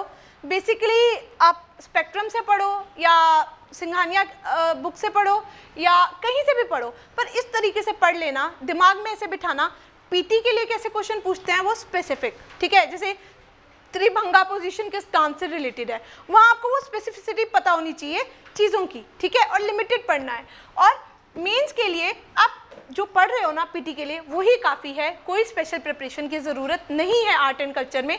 बस लिखने का तरीका आना चाहिए, ठीक है? ये आर्ट एंड कल्चर तो PT plus means one and the same thing आपको और नहीं पढ़ने की ज़रूरत, ठीक है? फॉर मॉडर्न हिस्ट्री अगेन अभी जो पीटी कर रहे हो, उसी को देख, देखा ना कैसे क्वेश्चन डायरेक्ट आ रहे हैं, ठीक है? उसी को इस तरीके से पढ़ो कि ये नहीं कि हम टिक कर लेंगे, हम एक्सक्लूड कर लेंगे। उन पॉइंट्स को थोड़ा याद करो। एटलीस्ट हर हर टॉपिक के पाँच पॉइंट्स याद कर लो। ठीक है? आपको बहुत फ़ायदा मिलेगा। ठीक है? क्योंकि ना पीटी के बाद जीएस पढ़ने का टाइम नहीं लगता है। आप कुछ भी नया नहीं कर पाओगे। बैलेंस करना बहुत मुश्किल हो जाता है। ठीक है? अभी टाइम है। वर्ल्ड हिस्ट्री अभी छोड़ दो। ठीक है? एक ही क्वेश्चन आ रहा है, वो भी ऐसा टेढ़ा मेढ़ा तब देख लेंगे। ठीक है? उसके बाद मॉडर्न इंडिया हो गया पोस्ट कंसोलिडेशन ये भी बाद में देखते हैं, ठीक है? और पोस्ट कंसोलिडेशन के लिए इस बार तो कोई क्वेश्चन नहीं आया। पिछले साल दो दो दो क्वेश्चन आए थे। कुछ भी कर सकते हैं। Again they can put NCERT बहुत है, वरना हल्का सा टॉपिक वाइज आपको पता होना चाहिए, विपिन चंद्रा पूरी पढ़ने की कोई ज़रूरत नहीं है। आपको बस वो टॉपिक्स इंटरनेट पे सर्च कर लो टॉपिक वाइज टॉपिक लिस्टिंग करके पढ़ा करो, ठीक है? ये हो गया हिस्ट्री पीटी का मीन्स अभी ये मत पढ़ो, ठीक है? सोर्सेज बहुत लिमिटेड रखो, पर टॉपिक प्रिपेयर करो। हम आपको एक टॉपिक की लिस्ट देंगे, ठीक है?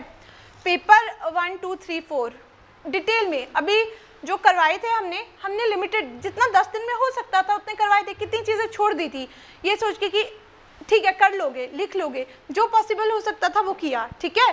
तो बट अभी आपके पास टाइम है ना, आप सब कुछ प्रिपेयर कर सकते हो, ठीक है? दिन में मैं बता रही हूँ सीरियसली अभी इस टाइम पे अगर आप पाँच घंटे दिन में बैठ रहे हो ना प्लीज़ बाकी सारा इन्जॉय करो। आप देखना आपका पेपर निकलेगा, ठीक है? उसके बाद ये पेपर उसका हो गया जोग्राफी के लिए पूरी, हर क्वेश्चन एनसीईआरटी से आता है या न्यूज़पेपर से आता है और आपको कुछ भी पढ़ने की ज़रूरत नहीं है। कोई ऑप्शनल कोई बुक कुछ भी मत पढ़ना, ठीक है? सिर्फ़ एनसीईआरटी प्लस न्यूज़पेपर न्यूज़पेपर में जो भी ज्योग्राफी के आर्टिकल्स आ रहे हैं, उनको इकट्ठा करो। वो पीटी और मीन्स दोनों के लिए ज़रूरत है। ये भी इंटीग्रेटेड प्रिपरेशन हो गई। कुछ भी अलग नहीं है।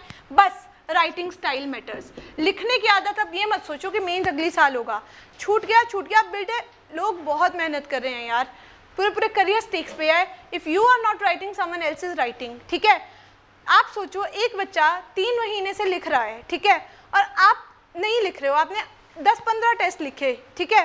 और उसने लिख दे तीन सौ टेस्ट। आपको क्या लगता है, कुछ तो फ़र्क होगा ना? हुँ? बहुत फ़र्क होगा, ठीक है? तो आप नहीं करोगे, कोई और कर लेगा कंपटीशन बहुत बढ़ गया है, ठीक है?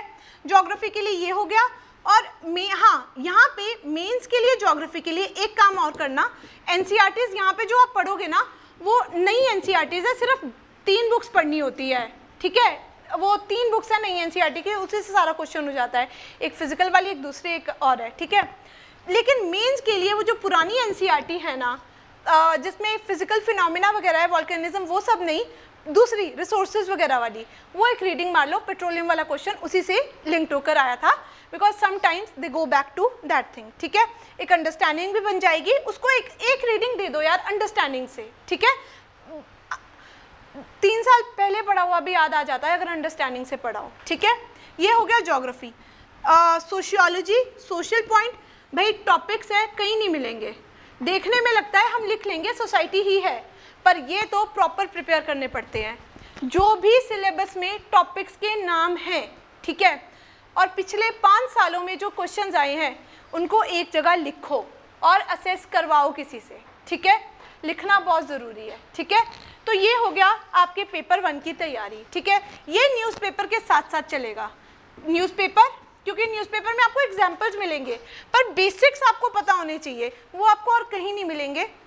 या इंटरनेट पे सर्च करो कि कोई ढंग की सोसाइटी की बुक है नहीं, या इंटरनेट पे सर्च करो आर्टिकल्स, या न्यूज़पेपर में जा रहा है, उसके एनालिसिस को देखो, कहीं कहीं से लिखो, समझो, वैसे करो, ठीक है? ये हो गया पेपर वन, ठीक है? इसके अलावा कुछ मत पढ़ना, पर इसको बहुत अच्छे से पढ़ना, और इन्होंने क्या किया है? पेपर वन तो डायरेक्ट था, ठीक है? आ गया मतलब घुमाया इन्होंने थोड़ा, ठीक है? पर इजी था, है ना? न्यूज़पेपर कैसे पढ़ना है? न्यूज़पेपर क्योंकि अब से आप पीटी का मेंस पढ़ोगे, ठीक है? Please be very specific eagle's eye view रखना है आपको, ये पीटी में लगेगा, ठीक है? जैसे आज का न्यूज़पेपर अगर सोचें, ठीक है? क्या आया था आज के न्यूज़पेपर में? मतलब मुझे इतना याद है कि आज के न्यूज़पेपर में सिर्फ़ एक क्वेश्चन था पीटी का। मुझे याद नहीं आ रहा क्या, ठीक है? पर सिर्फ़ एक क्वेश्चन बनता था, आपको वो व्यू रखना है, उसके पीटी करके प्रिपेयर कर लो। बाकी मेंस आज का न्यूज़पेपर में ज़्यादा कुछ था नहीं। आर्टिकल 35 ए के ऊपर उसने बोला कि नहीं दिस इज़ नॉट जो है। पर आपको पता है 35 ए 370 वो साथ साथ में ना एक ही न्यूज़ छः छः महीने चलती है अलग अलग एंगल्स आते हैं, ठीक है? आप अपने टॉपिक्स प्रिपेयर करते रहो न्यूज़ से सिर्फ़ वो पॉइंट ऐड करो। इस तरीके से मेन का अक्टूबर अक्टूबर से शुरू कर दो असेंबल करना। अक्टूबर नहीं हुआ तो नवंबर से तो कर ही दो, ठीक है? इससे डिले मत करना प्लीज़ पीटी में भी रह जाओगे और मेंस में भी मज़ा नहीं आएगा, ठीक है? अब मटेरियल इकट्ठा करने का टाइम है और टॉपिक्स ठीक है? ऐसे करो, ये वाला हो गया। अगर हम पेपर टू देखें, इस बार पेपर टू काफ़ी न्यूज़ से आया था, ठीक है? कुछ ट्रेडिशनल क्वेश्चन भी थे और न्यूज़ से भी था। देखो लोकल सेल्फ गवर्नमेंट ये तो सिंपल सा क्वेश्चन था। सिंपल सा क्वेश्चन था। ये तो डायरेक्ट है यार एक सुनो, एक टॉपिक की लिस्ट होती है बेसिक जो आपको तैयार करनी ही करनी है हर हाल में, ठीक है? एक लिस्ट होती है करंट अफेयर से रिलेटेड वो आपको करंट अफेयर से अब करनी है। अभी तक आप सबकी बेसिक लिस्ट तैयार हो जानी चाहिए अगर आप फ़र्स्ट टाइमर्स नहीं हो, ठीक है? नहीं हुई तो दिसंबर तक का टाइम है, अपनी बेसिक लिस्ट को मत छोड़ो। बेसिक बहुत अच्छे नंबर दिलाता है, ठीक है? और करंट उसको आपको कहीं और ही पहुंचाता है, ठीक है? तो ये पेपर टू में मिक्स देखेंगे। फिर एन यार इतने टाइम से चल रहा था। किया था क्लास में अच्छे से? हम्म? ये तो सब नहीं किया होगा। क्लास में नहीं किया बुकलेट्स में किया। यार इजी सा था डायरेक्ट थे, ठीक है? साइमल्टेनियस सिलेक्शन ये भी बहुत टाइम से रोज चल रहा था, कुछ भी नया नहीं। प्रेशर ग्रुप बेसिक क्वेश्चन लिखा हुआ है सिलेबस में। देख के लगता है हम लिख देंगे। प्लीज़ प्रिपेयर करो। लिखा जैसे करवाया था प्रॉपर हम्म? फिर पब्लिक अकाउंट कमिटी इन्होंने प्रीलिम्स का नॉलेज आपका टेस्ट कर लिया। ठीक है कि आप एकदम वो पॉइंट्स ठीक है? और लिखने का तरीका, ठीक है? ओके फिर ये वॉश अब देखो वॉश स्कीम बड़ी अच्छी स्कीम है, पर इन्होंने पहले ही बता दिया कि सैनिटेशन की है वाटर की है हाइजीन की है। इतने शरीफ है बेचारे, पहले ही सब बता देते हैं। But you have to prepare the topic in the mind ठीक है? इन्होंने लिखा to ensure effective implementation of policies addressing water and sanitation and hygiene needs, the identification of beneficiary segment is to be synchronized with the anticipated outcomes. बोलो। हम्म? ये वाला question ले लूँ। And में लेती हूँ फिर, ठीक है? So this identification of beneficiary segment is to be synchronise with anticipated outcomes examine the statement in context of wash scheme newspaper में आई थी, ठीक है, आई थी एक बार। स्कीम के पॉइंट्स आए थे। स्कीम का एनालिसिस कहीं नहीं आया, ठीक है? इतना तो नहीं पढ़ सकते कि क्या हुआ, क्या नहीं। पर बेसिक आपने अगर स्वच्छ भारत मिशन ही पढ़ा होगा थोड़ा तो आपको डाटा डूटा आपने इकट्ठे कर ही लिए होंगे कि कितने परसेंट ओपन डेफिकेशन कितने परसेंट बीमारियाँ जो है वो इवन यू के इकोनॉमिक सर्वे में है how malnourishment is link to lack of hygiene इतना डाटा था, इतना डाटा था, ठीक है क्या आप उसको, इसका नाम लगा के मिक्स नहीं कर सकते थे। फिर आप बता सकते थे कि इतना पैसा मतलब फंड्स आर बीइंग यूज़ ठीक है। थोड़ा सा स्कीम के बारे में बताओ, कैसे है उसको आउटकम्स के साथ लिंक करना है? इतना डाटा था आपके पास, आप उसको डायरेक्टली लिंक कर सकते थे। कुछ सक्सेस भी पढ़े थे, कुछ नेगेटिव्स भी पढ़े थे। ये तो प्रिपेयर टॉपिक है ना, बस आपको लिखना था। हम्म? फिर उसके बाद पर्सन विद डिसेबिलिटी यार, ये तो करना ही होता है। किया था क्लास में? किया था? फिर उसके बाद hunger poverty good governance simple से क्वेश्चन थे यार। इस बार लास्ट ईयर भी यूएन का इन्होंने पूछा था, इस बार भी इन्होंने यूएन का एक और ऑर्गेनाइजेशन पूछ ली। पहले वर्ल्ड बैंक आईएमएफ और डब्ल्यूटीओ पूछ रहे थे, अब यूएन का जाता है तो बेसिक कॉमन सेंस है कि यूएन की जितनी भी आगे पीछे की वो है, उनको आप तैयार कर लो, ठीक है? फिर उसके बाद ये बोल रहे हैं जीएसटी आ गया। जीएसटी हमने पेपर टू और पेपर थ्री दोनों में किया था। मैंने आपको डिफरेंस बताया था। काम आया? काम आया? बोलो मुँह से। ठीक है। चलो, फिर उसके बाद right to privacy as simple as that ठीक है? उसके बाद ज्वाइंट सिटिंग सिंपल पीटी का नॉलेज सर आप इसमें लिख देते, ठीक है? फिर इलेक्शन कमीशन इलेक्टोरल रिफॉर्म्स तो कब से चला रहे हैं? इस बार तो न्यूज़पेपर में भी तीन आर्टिकल आए थे, और हमने क्लास में भी अच्छे से किए थे। लिख दिए इलेक्टोरल रिफॉर्म्स हम्म? फिर नेशनल कमीशन फॉर वुमेन ये कंफ्यूजिंग है, डर नहीं जाना इसको देख के। पूरा क्वेश्चन पढ़ना है, क्या है? Is the National Commission for Women able to strategize and tackle the problem that women face at both public and private sphere? यार, भूल जाओ नेशनल कमीशन ऑन वुमेन को। सीधे रखो कि जो वुमेन की पब्लिक एंड प्राइवेट स्फेयर में प्रॉब्लम्स है, क्या वो टैकल हो रही है या नहीं हो रही? ये तो बस मिजनो मर है, आपको ऐसे डराने के लिए कि आपने नहीं पढ़ा भाई, ठीक है? तो डरना नहीं है। Give reason in support of your answer तो लगा दो, जहाँ पॉजिटिव है, जहाँ नेगेटिव है पब्लिक एंड प्राइवेट शेयर में। अरे, जितने भी लॉज आए होंगे, कहीं ना कहीं नेशनल कमीशन ऑफ़ वुमेन ने कुछ तो बोला होगा उनको रिलेटेड ठीक है? रेप लॉज है एसिड विक्टिम के लिए कुछ भी है मतलब आप कितना कुछ लिख सकते थे यार, डरना नहीं है बस। जहाँ आप डर गए, आप कभी कुछ नहीं लिख पाओगे। और जहाँ पे आप नहीं डरे ना, आप ऑथर बन जाओगे, ठीक है? हम्म? चलो, उसके बाद self help group direct question यार, इस बार पेपर इजी आया था, बहुत इजी आया था। ठीक है?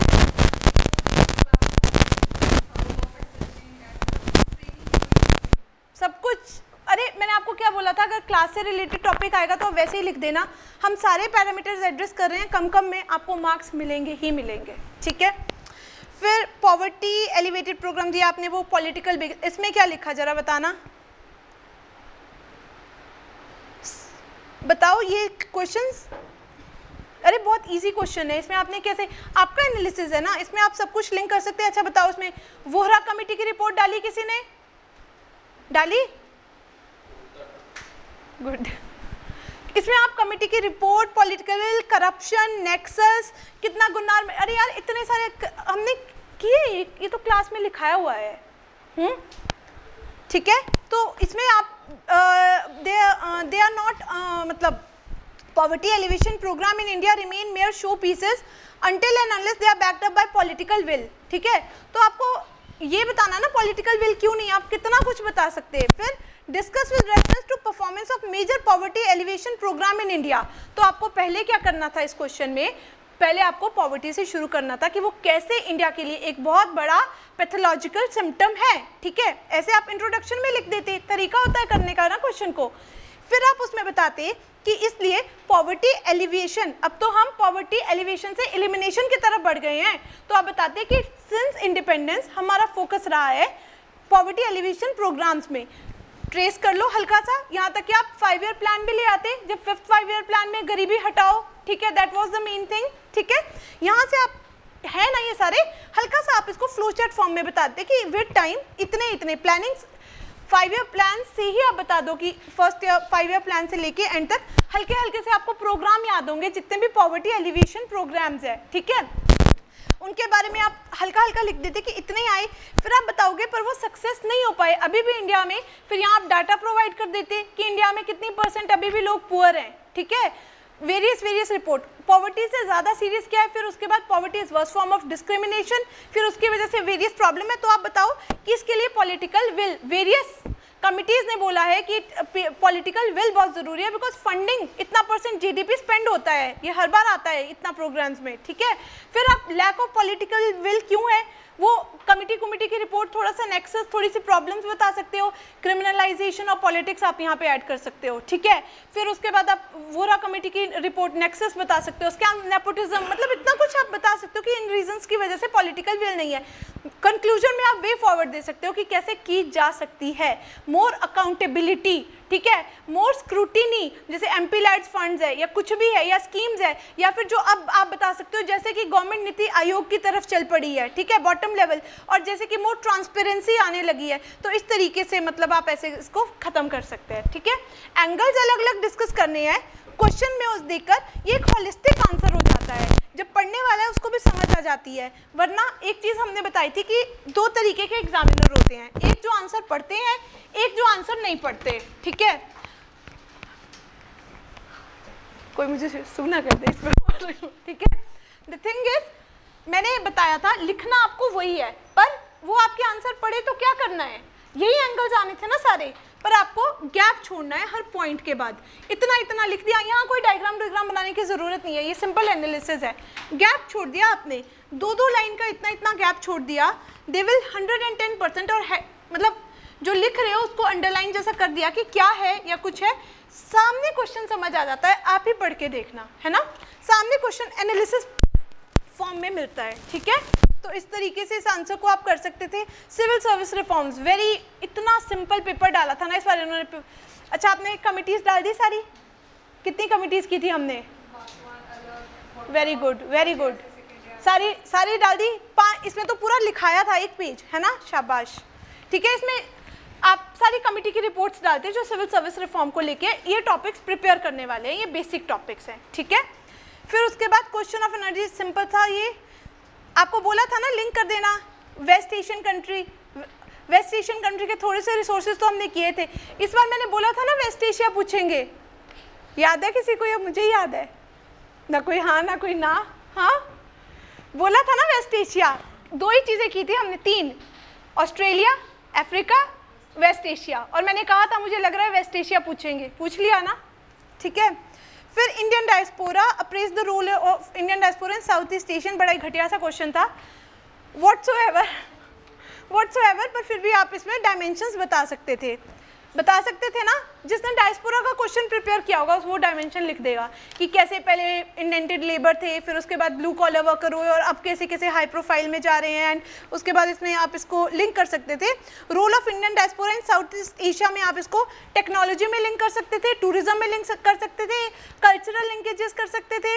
उसके बाद फॉरन पॉलिसी में, ठीक है? इंडिया के लिए ईशानी इंपॉर्टेंट हो रहा है, ये सब मतलब this is the thing dimensions ठीक है? वैसे करके आप इस को एक आध आपको एग्ज़ाम्पल बताओ न्यूज़पेपर्स में आते रहते हैं तो नाम लगा दो, हो गया, ठीक है? तो ऐसे तो जो बेकार का क्वेश्चन होता है, उसको भी आप अच्छा बना सकते हो, क्योंकि बाकी नहीं बनाएँगे, वहीं पे आपको एज मिल जाएगा, ठीक है? तो पेपर टू कहाँ से आया था, ज़रा देखें हम्म? बेसिक से क्या क्या आया था, ये देखो लोकल सेल्फ गवर्नमेंट पंचायत, या ये तो आने ही थे, ठीक है? ये तो बेसिक है। N J A C this was very common in news जो पता था रोज़ का अखबार ज़रूरत नहीं है। रोज़ का अखबार अंडरस्टैंडिंग प्रोवाइड करता है, ठीक है? पर टॉपिक्स प्रिपेयर करना बहुत ज़रूरी है। साइमल्टेनियस सिलेक्शन ये भी न्यूज़ में चल रहा था। Pressure group basic public account committee basic फिर वॉश ये तो लिख लोगे आप। पर्सन विद डिसेबिलिटी ये तो लिखना ही था मतलब ईजी था यार पेपर और ये वाला पार्ट तो प्रिपेयर उसके लिए इजी जिसने प्रिपेयर करके रखे होंगे सारे पार्ट्स और जिसने सोचा, पढ़ के मैं लिख लूँगा, उसके लिए कभी कोई पेपर इजी नहीं होगा, ठीक है? Any doubts paper two paper three बहुत इजी था. बहुत इजी था. पेपर थ्री पूरा पेपर ट्रेडिशनल पार्ट से आया था. अगर आप अपना थोड़ा सा दिमाग लगाते तो. ठीक है? पेपर थ्री की लिस्ट दी थी. पहला paper resource mobilisation financial inclusion inflation मतलब मॉनेटरी पॉलिसी इन्वेस्टमेंट ठीक है? और इस सब चीज़ों पे था। क्या आपने आइडेंटिफाई किया? हम्म? किया किसी ने?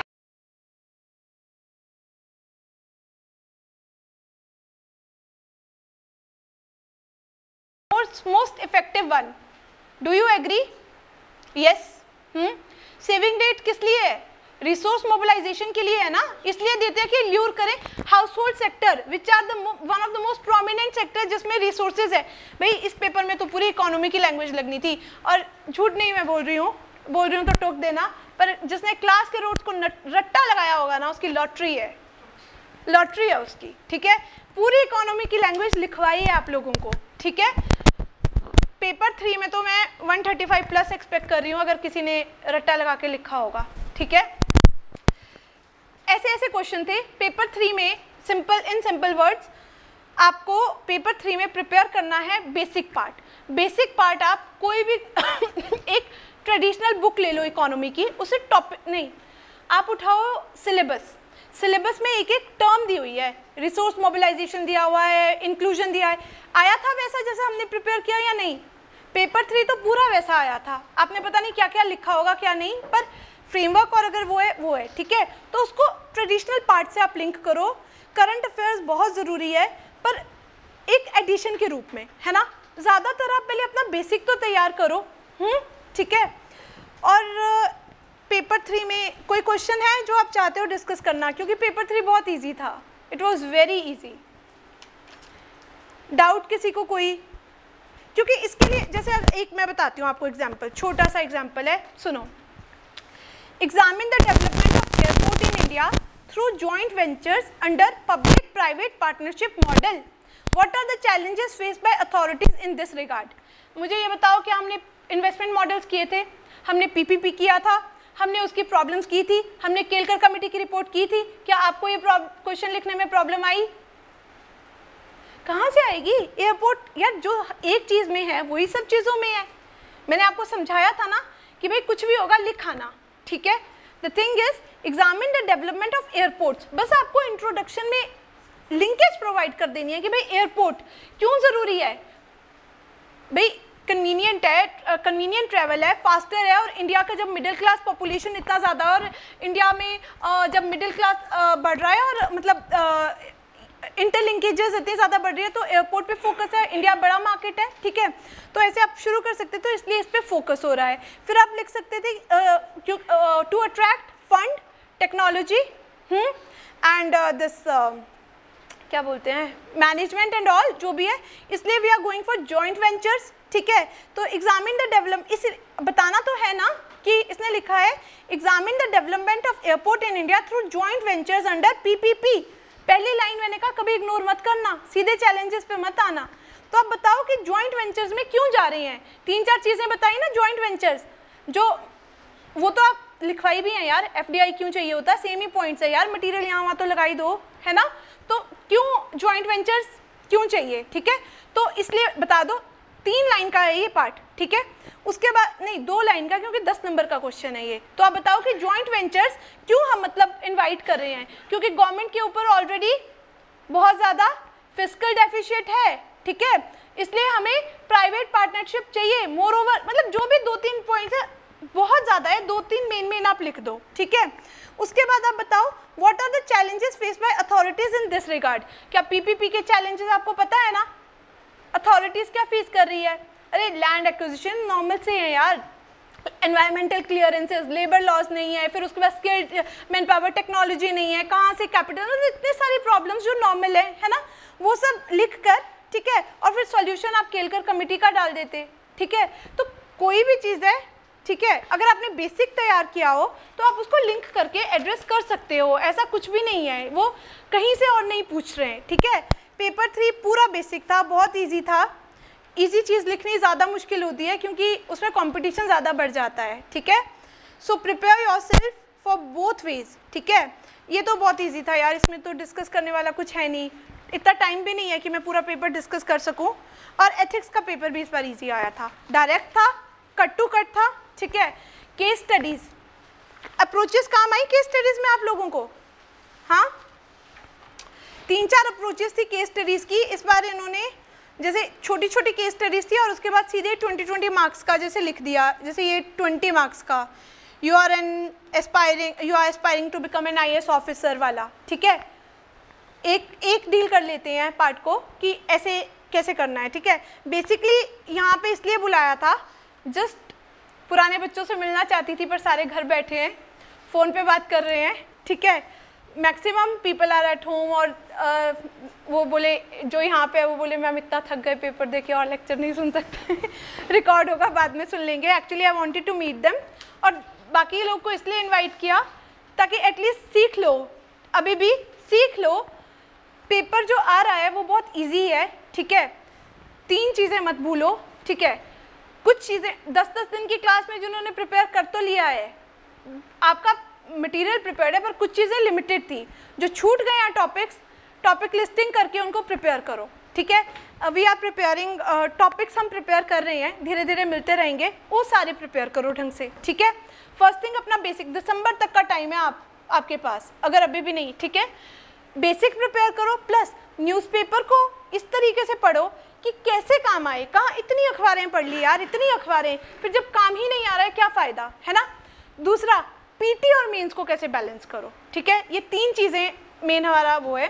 पीटी और मीन्स कैसे बैलेंस करना और न्यूज़पेपर कैसे करना, ये पार्ट टू में होगा एट्थ को। ठीक है? तब बता सकते हैं। अभी तो थोड़ा सा पेपर देखना था, कैसा आया है। डरने की कोई ज़रूरत नहीं ईजी आया है। जिसने प्रिपेयर किया है ना, उसके लिए बहुत ईजी है।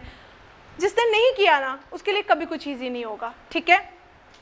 ये वाला देखो एक question you are aspiring to become an I S officer and you have cleared various stages and now you have been selected for interview on day of interview on the way to the venue you saw an accident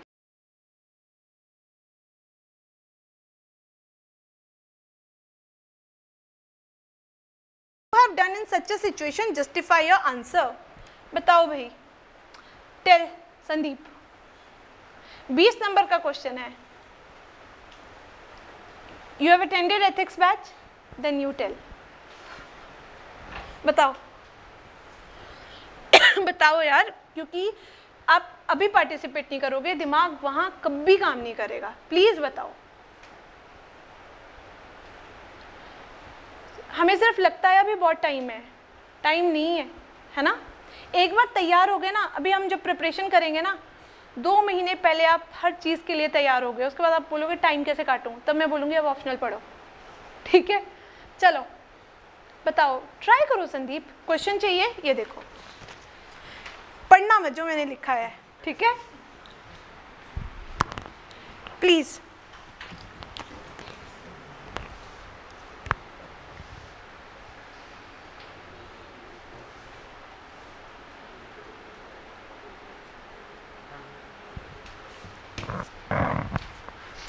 जिन्होंने paper लिखा ethics का, पल्लवी को तो मुश्किल आई नहीं होगी।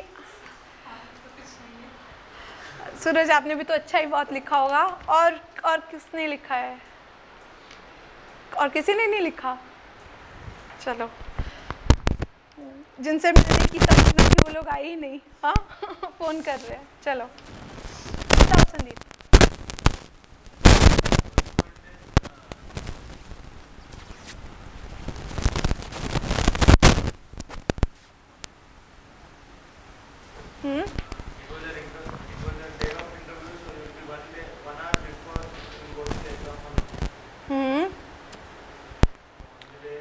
Today, how will you write this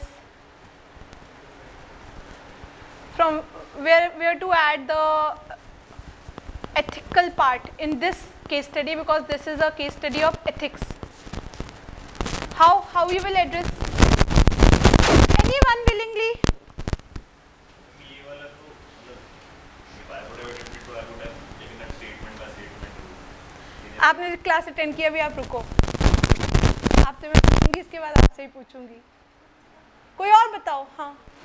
बताओ please please participate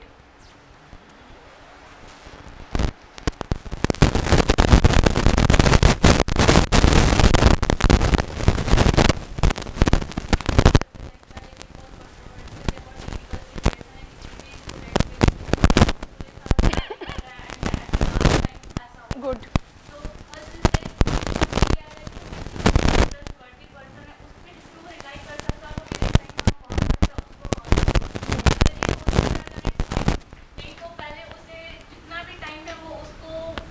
पहले कंसीडर करे उस मदर एंड चाइल्ड को और देन वो इंटरव्यू कोर्ट में थोड़ा लेट भी पहुँचे और वहाँ ट्राई टू कन्विंस कि हाँ मैं मैं इस वजह से लेट हो गया लेकिन उससे पहले उस चीज़ से हैंडल करना चाहिए सामने ठीक है और कोई? Please participate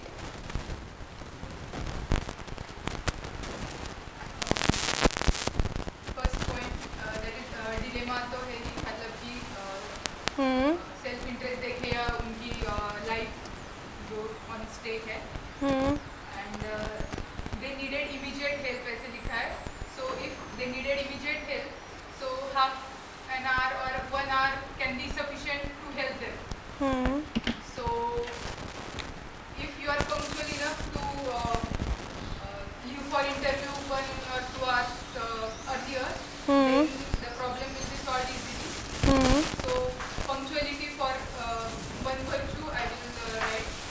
Then in a dilemma, if uh, their life is in uh, danger, then priority should be for their life.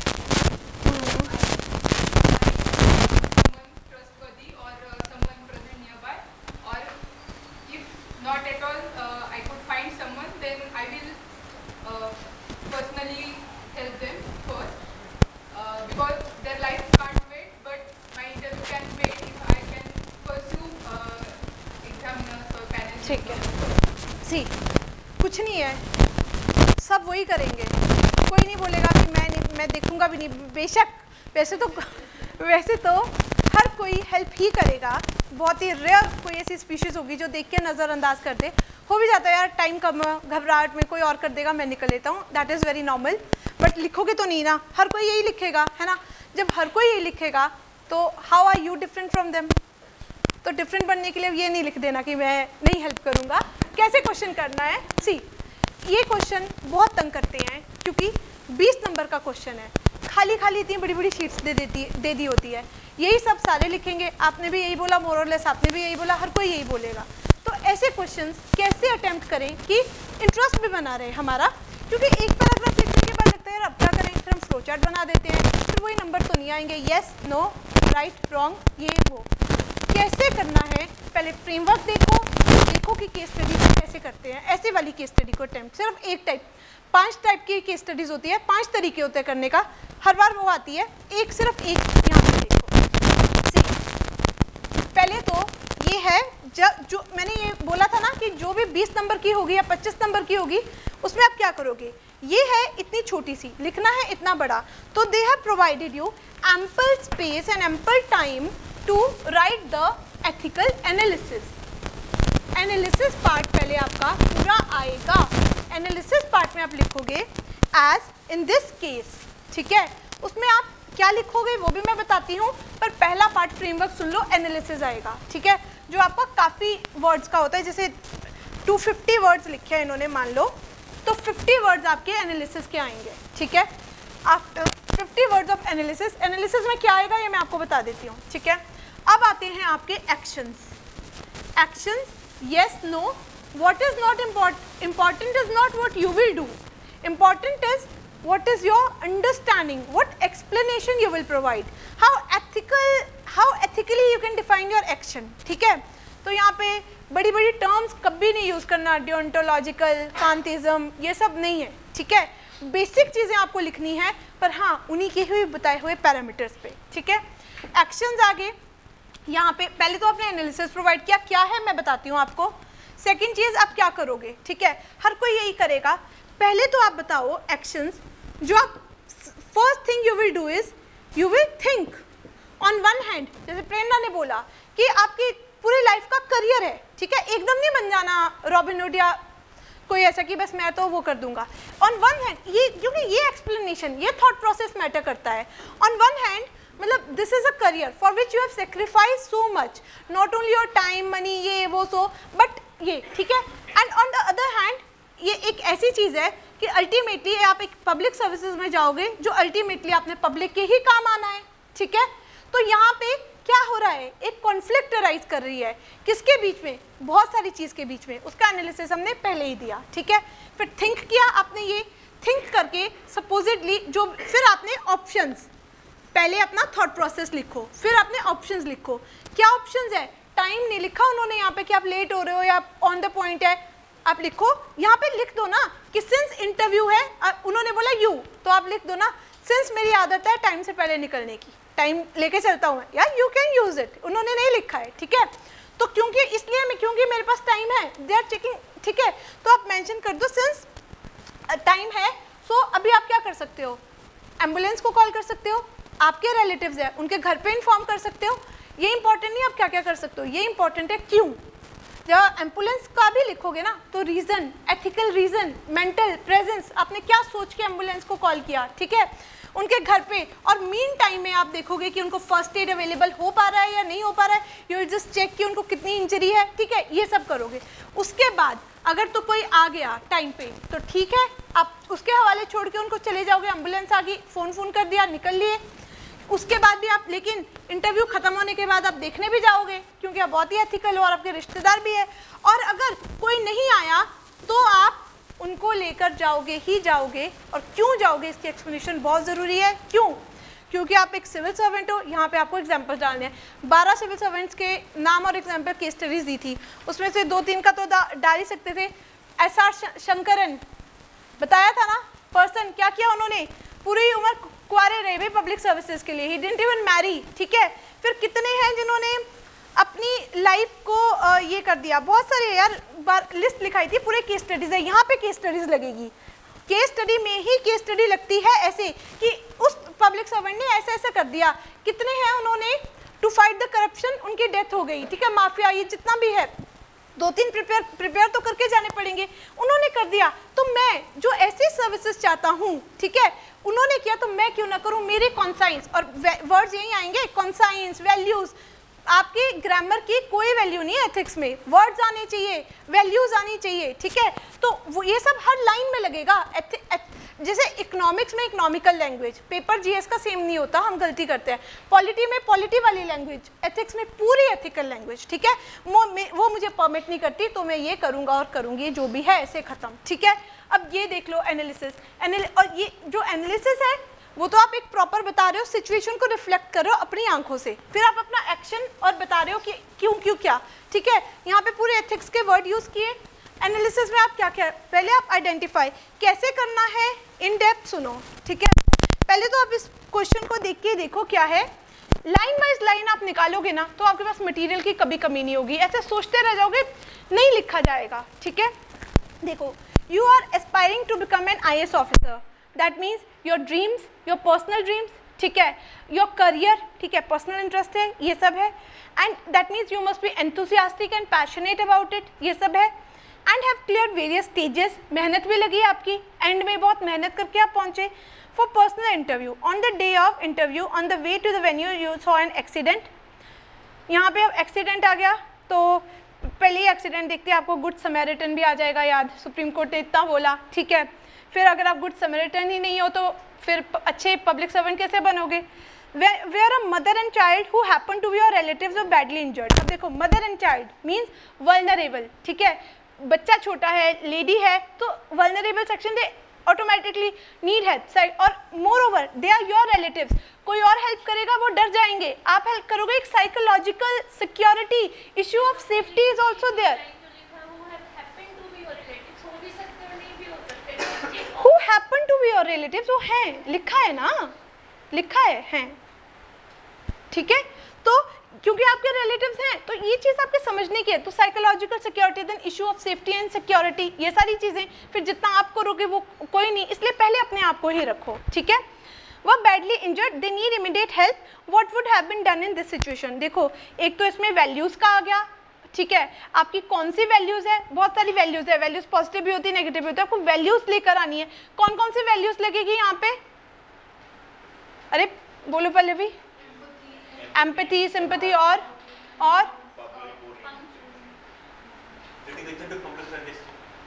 Dedication to public service और?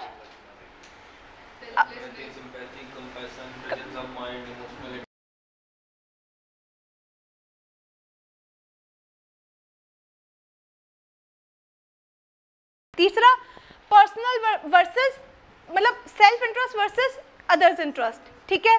फिर emotional intelligence and ultimately your smartness presence of mind and your management तो ये पाँच, ये आप analysis में ऊपर दोगे कि भाई ये क्वेश्चन इन सब चीज़ों का है। ये वर्ड्स आप यूज़ करोगे कि क्योंकि यहाँ पे ऐसा हुआ है तो ये चीज़ है तो ये है ऐसा। तो यहाँ पे एनालिसिस देखिए, फिर आप आप एथिकल लैंग्वेज में अपने हर पॉइंट को जस्टिफाई करोगे, ठीक है? जिन्होंने जिनको की स्टडीज़ आती है, वो मतलब करनी इस पॉइंट ऑफ़ व्यू से। उनको ग्रास्प हो रहा होगा। जिनको नहीं आ रही, वो एक बार सुन लो, घर जाके ट्राई करके देखना, पूरा पढ़ के। आपको समझ आएगा कि नहीं, कुछ कमी है। समझ नहीं आता कि स्टडीज़ में कैसे करना है, ठीक है? तो इस तरीके से ये एथिकल पॉइंट्स तो वही है explanation matters and that also ethical explanation ठीक है? मैंने ये सोचा, इसी पे हमने वर्कआउट किया था ना, कि ऐसा करेंगे तो क्या सोच के करेंगे, है ना? So that matters the most ठीक है? एथिक्स का पेपर बहुत ही ट्रेडिशनल था।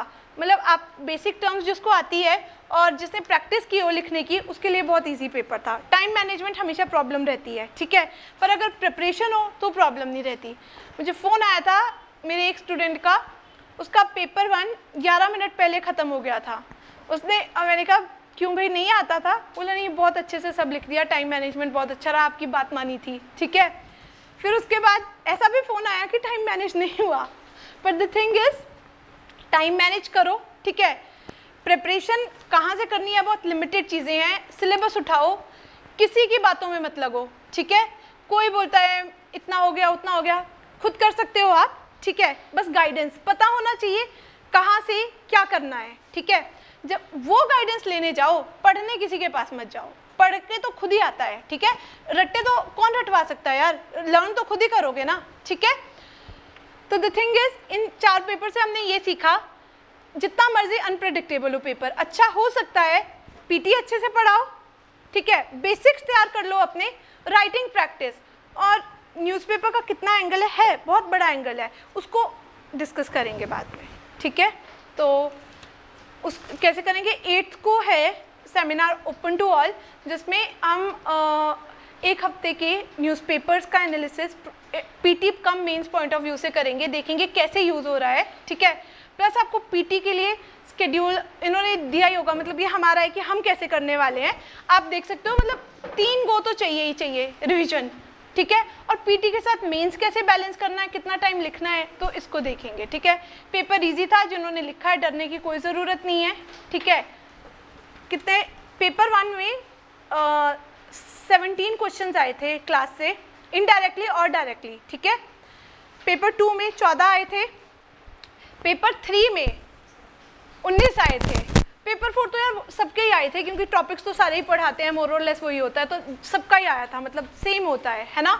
पर आया तब तक मैटर नहीं करेगा जब तक आप, आपको पता नहीं होगा अब जैसे हमने रिसोर्स मोबिलाइजेशन कर लिया, पर अगर किसी का दिमाग ही नहीं चला कि इसमें ये करना है, फिर क्या पढ़ने का फ़ायदा? अगर वो रिसोर्स मोबिलाइजेशन ही ढूंढता रहा, है ना? ऐसे इकोनॉमी के जितने भी के दिमाग लगाओ, अपना ब्रेन करो, कहाँ पे क्या लगना है। But first thing is preparation ठीक है? जो टॉपिक्स छूट गए हैं प्रिपेयर करो, ठीक है? और, बस नवंबर फ़र्स्ट नवंबर से बाई गॉड बना लो सब चीज़ों को अब, है ना? दिन में चार घंटे चाहिए मैक्सिमम पाँच। उससे ज़्यादा मत पढ़ना। ठीक है? प्रैक्टिस करना क्योंकि उससे ज़्यादा। ठीक है? चलो थैंक यू सो मच यार आ, एक मिनट आप सबके लिए चॉकलेट्स हैं लेके जाइए क्योंकि पेपर ख़त्म हुआ ना तो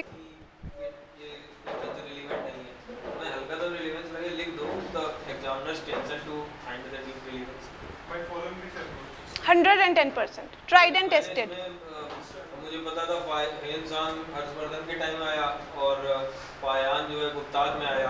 तो लिख दिया तो या, add कर दो। बोल दिया खराब कॉइन है। फिर इनका प्रयाग के पास और नालंदा में इनके सेंटर्स थे वहाँ मैप बना दिखा दिया कि यहाँ पे पॉइंट्स पाए गए हैं गुप्ताज के। बस लिख दो कुछ भी रेलेवेंस में आप पीछे लगा के जो भी आप या आता है या कॉमन सेंस से या पढ़ा है पीटी के टाइम वैसे करके ठीक है? तो दिस इज़ द वे ठीक है? जो नहीं आता बिल्कुल पढ़ने के मतलब नहीं पढ़ा मान लो ठीक है? उसके बाद अगला question clarify how mid 18th century India was beset with the specter of fragmented polity. Simple सा क्वेश्चन था ठीक है? मिड एटीनथ सेंचुरी ठीक है? इसमें तो uh, इतना तो कॉमन सेंस यार आप पास पेपर का एनालिसिस लेके क्यों करवाया था ना सारा ये वाला? अलग अलग अलग अलग करवाया था? Uh, सारा ये रेजिस्टेंस हो गया ये प्लासी हो गया ये बक्स मतलब सबका मिला के आपको इसको बताना था एंड एक एनालिसिस पॉइंट दे देना था। वेटल्स को एक्सप्लेन नहीं करना था। यू हैड टू एक्सप्लेन इस अब इसमें आप इंडिया का डायग्राम बना देते इंडिया का मैप बना देते ठीक है? तो आपको 110 परसेंट अबव एवरेज मार्क्स मिलते। फिर आप बता देते इस तरफ़ इस तरफ़ ये ये हुआ था फ्रेगमेंटेड पॉलिटी क्यों थी? यहाँ पे ये रेजिस्टेंस चल रहा था, यहाँ पे ये चल रहा था, यहाँ पे ब्रिटिश आ रहे थे, उन्होंने ऐसे ऐसे किया। और उसका डायग्राम में आप ये एक्सप्लेन करते हल्का हल्का नीचे आप एनालिसिस लिख देते ठीक है? आपके बहुत अच्छे मार्क्स आते ठीक है? ये तो पढ़े से आया था डायरेक्टली हम्म? अगला क्वेश्चन था वाई मॉडरेट्स फेल यार ये तो मतलब हर किसी को आता होगा। ठीक है ये तो सिंपल पीटी का क्वेश्चन है मेंस में भी प्रिपेयर किया होगा ये तो क्लास का क्वेश्चन है। ये तो लिखवाया है लिटरली ठीक है? द थिंग इज़ कि जब हम वैसे तो पीटी के लिए हम सब पढ़ते हैं पर जब मेंस आता है तो सब कुछ बैलेंस नहीं हो पाता। तो उस वक्त इसीलिए अभी से अपने दिमाग में कुछ चीज़ें क्लियर करके चलो क्योंकि वो घूम रहे हैं ठीक है? वो पीटी वाले पॉइंट पे भी आ रहे हैं ठीक है? फिर अगला था अ, हाँ ये क्वेश्चन करते हैं। What problems were germane to decolonization process in Malay peninsula ठीक है? भाई, पहले मैंने सबको बोला था वर्ल्ड हिस्ट्री से एक ही क्वेश्चन आता है तो वर्ल्ड हिस्ट्री का भूत तो सर से उतार ही दो। डेढ़ दिन में की थी ना हमने वर्ल्ड हिस्ट्री ठीक है? हमने बहुत कुछ किया, फिर भी इन्होंने गेम खेली, ठीक है? आपने ही नहीं किसी ने कुछ नहीं पढ़ा होगा हल्का फुल्का किसी को आइडिया होगा। लेकिन, क्या हमने डीकोलोनाइजेशन एशिया का किया था? किया था डीकोलोनाइजेशन एशिया का? हाँ? फ्रेमवर्क तो याद होगा दिमाग में? पलवी क्या था डीकोलोनाइजेशन एशिया का? टकी टुकी सारा करवाया था। यार वो इस साइड वाले सारे ईरान वगैरह, उसके बाद वो नीचे फिर इस साइड वाला सारा करवाया था, है ना? डीकोलोनाइजेशन तो बस एटलीस्ट फ्रेमवर्क दिमाग में हो। फिर एक चीज़ और। What problem was germane to decolonization process in Malay Peninsula? एक पॉइंट स्पेसिफिक है। ठीक है? One point is very specific और वो वही ढूंढेंगे। ठीक है? वही वही पॉइंट ढूंढेंगे वो। पर बाकी तो लिख ही सकते हो ना। है ना? बाकी तो जनरल ही है ठीक है? तो इस तरीके से आप थोड़ा अ, अ, कौन से डीकोलोनाइजेशन की जनरल प्रॉब्लम्स क्या हो सकती हैं आप बताओ? मतलब हो है? हर जगह सेम शुरू और क्वेश्चन का फ्रेमवर्क कैसे रखोगे? फ्रेमवर्क क्या होगा इस क्वेश्चन का? दस नंबर का है ये भी। Starting with what is decolonization ठीक है? इंट्रोडक्शन व्हाट इज़ डीकोलोनाइजेशन बता सकते हो ना आप?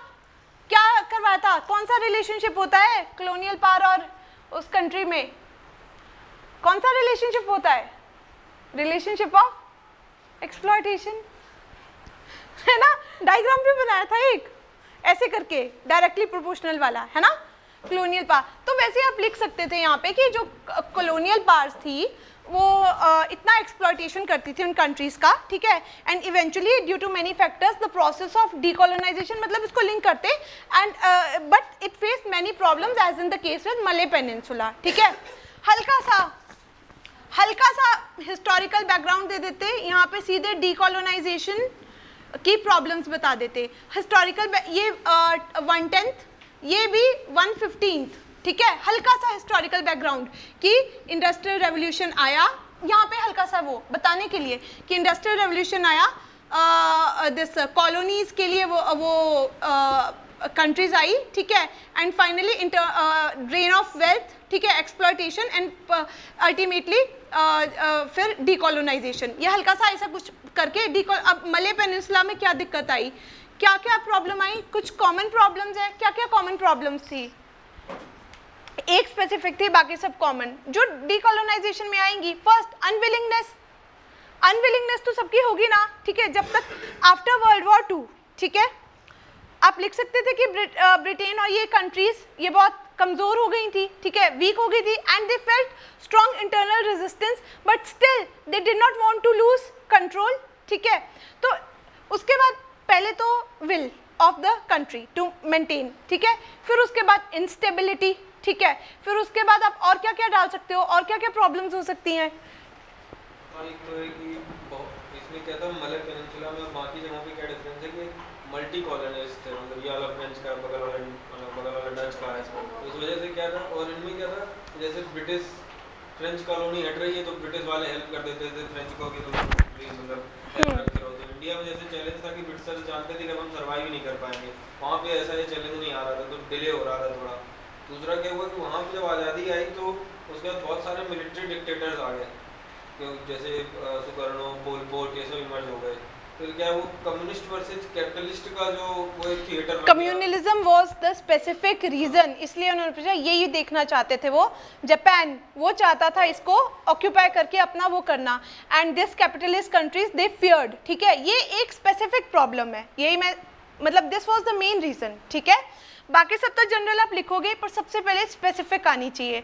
ये भी ऐसा क्वेश्चन है जो मोस्ट लोगों ने प्रिपेयर नहीं किया था ठीक है एक और issue इसमें है कि जो मलय पेनिनसुला है वो हिस्टोरिकली इसकी मैरीटाइम इंपॉर्टेंस बहुत है स्ट्रेटजिक इंपॉर्टेंस है। इसलिए यूएसए भी चाहता था कि हम कॉलोनियल एक हैंगओवर अपना ज़रूर मेंटेन हाँ, रखें। वही वाली बात की not they were not willing उसी में आप इसको एक्सप्लेन कर देते मेन मेन पॉइंट ना मतलब पास वर नॉट विलिंग दे हाँ। ठीक है? तो ये तो मेन पॉइंट था मेन स्पेसिफिक प्रॉब्लम यहाँ पे कम्युनलिज्म की वजह से हो रही थी और बाकी सब तो कॉमन पॉइंट्स है, जो आप जो आप तीन पॉइंट्स लिख के पर एक्सप्लेनेशन प्रोवाइड करते, ठीक है? तो इस तरीके से मतलब आप इस क्वेश्चन को, क्योंकि इसमें लिखने के लिए कम पॉइंट्स थे ना तीन तो उसको फैलाने के लिए हमने थोड़ा सा डिकोलोनाइजेशन बता दिया हल्का सा ये बना दिया कि पेज भर जाए, ठीक है? पेज भर दिया हल्का सा फिर हमने प्रॉपर प्रूफ दे दिया तो यार बाकियों से तो हटके ही हो गया, ठीक है? एक प्रॉपर फ्रेमवर्क है एड्रेस हो रहा है, सामने दिख रहा है मार्क्स आपके एक दो नंबर ज़्यादा ही आएँगे, ठीक है? तो ये तरीका था मतलब वो क्वेश्चन करने का, ये भी वो क्वेश्चन है जो हमें नहीं आता। ये वो वाले क्वेश्चन थे शुरू शुरू वाले जो हमें नहीं आते, ठीक है? अब आगे देखो देखो, इन्होंने जूनो मिशन ऑफ़ नासा डाल दिया। अब आधे से ज़्यादा बच्चों को लगा, हमने जूनो मिशन नहीं पढ़ा अभी, ठीक है? तो इन्होंने पूछा नहीं understand origin and evolution of earth specific नहीं origin and evolution of earth तो वैसे भी पीटी के लिए प्रिपेयर किया। उसको लिंक कर दो ना कि आप लिंक कर सकते हो ना कि ग्रेविटेशनल बॉडीज जो हैं ठीक है? उनका मोर और लेस सेम अर्थ को स्टडी करने के अलग अलग तरीके हैं। उसमें से एक ये भी होता है तो इस तरीके से उसको लिंक कर दो। लिंकेज मैटर ठीक है? ये नहीं कि आपको पता ही होना चाहिए कि जूनो मिशन ने क्या बोला ठीक है? सो so, इस ये वाले पहले पाँच क्वेश्चंस ऐसे थे मतलब सेकंड और थर्ड को हटा दो। तो ऐसे थे कि मोर और लेस किसी भी कैंडिडेट के इतने स्ट्रांगली प्रिपेयर्ड नहीं थे, ठीक है? तो वैसे मोरल डाउन हो जाता, लेकिन उसके बाद पेपर बहुत इजी था, ठीक है? अब आप देखो इन्वायरमेंटल इम्पैक्ट असेसमेंट का इन्होंने एडवर्स एनवायरमेंटल इम्पैक्ट पूछ लिया है but still coal mining is still inevitable in development अब जिस बच्चे को पता है फ्रेमवर्क में क्या होना चाहिए, ठीक है? वो तो लिखाएगा प्रॉपर ठीक है? क्या लिखा किसी ने? क्या लिखा इस क्वेश्चन में? बताओ। आपने क्या लिखा? मैंने तो वही इंट्रो मतलब मैं मैं इंट्रो एक्चुअली फैक्ट से स्टार्ट करता हूँ। मैंने ये लिखा था कि नीति आयोग जो एनर्जी पॉलिसी है उसमें उन्होंने कोल को एक मेजर पिलर रखा है हमारे वेरी गुड वेरी गुड फिर उसके बाद यही एक्सप्लेन कर दिया कि जो रिसेंट एक कोल पॉल्यूशन की रिपोर्ट आई थी इनकी एक एमओईएफ ग्रुप की वेरी गुड तो उसमें जो जो प्रॉब्लम्स उन्होंने बताई माइनिंग से रिलेटेड उसके तीन इकोलॉजिकल प्रॉब्लम तो आपने दोनों चीज़ों को बैलेंस कर दिया। एक तरफ़ ज़रूरत क्यों है मतलब और एक तरफ़ प्रॉब्लम क्या है? Very good very good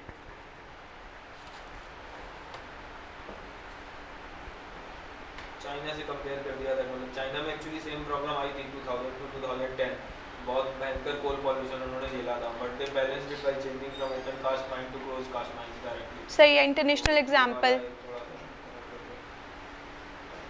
और एट द एंड आप एक चीज़ और कर सकते थे कि दिस थोड़ा फॉरवर्ड वे फॉरवर्ड में दे सकते थे कि obviously it is inevitable but इसको थोड़ा सा लिंक कर दो इंडिया की कमिटमेंट पैरिस डील वगैरह से, जिसकी वजह से हम रिन्यूएबल एनर्जी की तरह शिफ्ट कर रहे हैं। तो एक आपने फ्यूचरिस्टिक दे दिया कि हाँ it is it may be inevitable right now at this level of development of technology but we are moving towards ठीक है? तो उससे उसको थोड़ा अच्छा और फ्लेवर आएगा, ठीक है? तो ये।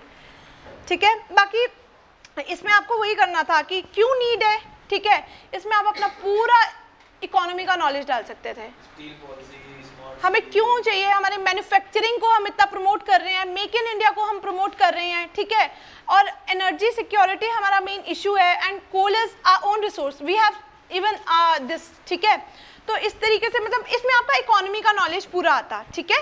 तो क्वेश्चन बेशक पेपर वन का है बट आपको दिमाग इसमें नहीं लिमिटेड रखना कि बस पेपर वन का करना है, ठीक है?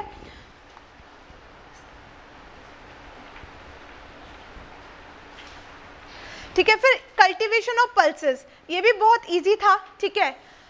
पैरामीटर्स फ्रेमवर्क फॉलो करोगे एग्जांपल्स डालोगे, कोई रिपोर्ट रिपोर्ट डालोगे तो ज़्यादा मार्क्स आएँगे, वरना नॉर्मल मार्क्स तो जो सिंपल लिखेगा उसको चार नंबर जो कुछ अच्छा लगा देगा। कुछ उसकी डायमेंशंस यहाँ पे डायमेंशंस बहुत मैटर करती, ठीक है? इन्होंने बोला mention the advantages of cultivation of pulses अब अगर आपने कितनी, यहाँ पे आपके डायमेंशन अब ये डायमेंशन वाला क्वेश्चन है ना? सोशल इकोनॉमिक पॉलिटिकल ठीक है? बायलेटरल ठीक है? इसमें आप इतनी सारी डायमेंशंस डाल सकते थे, ठीक है? कैसे कैसे बताओ? जल्दी जल्दी बताओ। हल्का सा मतलब ये क्वेश्चन डायमेंशंस वाला है। हम्म? कल्टीवेशन ऑफ़ पल्सेस के एनवायरमेंटल डायमेंशन है। क्या है? लेग्यूमिनस है। फिक्सिंग नाइट्रोजन नाइट्रोजन फिक्स करते हैं सॉइल को फर्टाइल करते हैं। इंडिया को लिंक कर देते। India suffering from the problem of soil desertification ठीक है, जिसका सॉल्यूशन क्या है? एक लेग्यूमिनस प्लांट्स को हम कर सकते हैं। एनवायरमेंटल डायमेंशन आ गया। See I am not able to write everything but I अगर मैं फ़र्स्ट जा रही हूँ तो मुझे रोक देना, ठीक है? Second cheese what what is second thing import बाद में करते हैं। पहले प्रोटीन सिक्योरिटी माल नरिशमेंट आपको इसको एक्सप्लेन करना होगा कि माल नरिशमेंट जो इंडिया के लिए इतना बड़ा चैलेंज है, उसको बैलेंस करने के लिए and majority of Indian population is vegetarian so in that case protein this pulses this is protein security के लिए बहुत ज़रूरी है हमारा। ठीक है? इसको आप लिंक कर सकते थे। एक्सप्लेन करना है ना सिर्फ़ नाम नाम लिखोगे नंबर नहीं मिलेंगे। बच्चे क्या कर रहे हैं? सुन कहीं सुन लिया है। सोशल इकोनॉमिक पॉलिटिकल नाम नाम लिख, लिखते हैं पेपर में सोशल इकोनॉमिक पॉलिटिकल फिर आगे नहीं समझ आता कैसे एक्सप्लेन करना। फिर अपनी मर्ज़ी से कुछ लगा देते हैं। आपको एक्सप्लेन करना है प्रॉब्लम को सॉल्यूशन से लिंक करना है ठीक है? और क्या इसका सॉल्यूशन है पल्सेस का? और क्या एडवांटेजेस है पल्सेस की? एक एनवायरमेंटल आपने बता दी। प्रोटीन सिक्योरिटी अपने फ़ूड सिक्योरिटी आपने बता दी। और क्या आप, इसको आप इकोनॉमिक फार्मर सुसाइड से रिलेट कर सकते हो? ठीक है? मोनोकल्चर की प्रॉब्लम ये भी आप उससे डिस्कस कर सकते हो। ठीक है? फिर गवर्नमेंट का एमएसपी ये बर्डन जो उसके ऊपर आ रहा है फ़ूड सब्सिडीज आपको इंडियन इकोनॉमी से इसको लिंक कर सकते हो? कि फ़ूड सब्सिडीज का इतना बर्डन गवर्नमेंट के ऊपर है। ठीक है? तो अगर क्रॉप डाइवर्सिफिकेशन होती है, कहीं ना कहीं से वो भी सॉर्ट आउट हो रहा है। ठीक है? और और आप इसको किसी बायलेटरल से भी लिंक कर सकते हो? ठीक है? क्योंकि इंडिया की मैक्सिमम, इंडिया के पास लैंड एरिया तो ज़्यादा है ही ना, ठीक है? और पल्सेस क्या है? ड्राई लैंड क्रॉप है। तो इसको आप लिंक कर सकते हो कि हम इसको इवन स्मार्ट एग्रीकल्चर में हम इसको यूज़ कर रहे हैं। ड्रॉट ड्रॉट दस टॉलरेंट क्रॉप्स में, है ना? तो ऐसे इसके इतने एडवांटेजेस आप बता सकते हो जिसका हिसाब नहीं है, ठीक है? पर बच्चे सोचते पल्सेस क्या लिखे? तो वही है ना, चार और छः नंबर में दो नंबर का फ़र्क नहीं है। पूरे पेपर में कितने नंबर का फ़र्क है? बीस क्वेश्चन है। चालीस नंबर का फ़र्क है और चालीस नंबर में टॉपर और फ्लॉपर। ठीक है? यहीं पे डिफरेंस पड़ जाता है सारा। तो आपको डायमेंशंस मेंशन करनी है, ठीक है? अब देखने में क्वेश्चन जो इजी लगता है वो होता नहीं है। इतना हमेशा याद रखना। मुश्किल वाले, ये पहले वाले तो किए जो आते नहीं थे। उनमें तो लगा दिए, भाई, पेज भरने हैं, ढंग से भरने हैं ये नहीं कि बकवास लिखी। पर ये तो आता है है ना? ये तो न्यूज़पेपर्स में है सिलेबस में है, हर जगह है है ना? Next question how does cryosphere affect global climate भाई, ये तो पूरा डायग्राम के साथ क्लास में कराया था। इतने डायमेंशंस कर दिए थे, इतने डायमेंशंस कर दिए थे। कोई रिपीट करना चाहेगा? Rajesh. Cryosphere how does cryosphere affect global climate याद रखना ग्लोबल क्लाइमेट क्लाइमेट का क्वेश्चन सिर्फ़ ग्लोबल क्लाइमेट है तो सिर्फ़ क्लाइमेट लिखोगे? कैसे एड्रेस करते हैं इसको? किसने किया एड्रेस आपने। पहले तो बता दिया था कि आईपीसी से एयर फाइव कोर्स स्टार्ट किया मैंने इंट्रो की, वो बोलती है कि 2050 तक आर्टिकल गायब हो जाएगा अंटार्कटिक उसके बाद वही में लिख दिया था।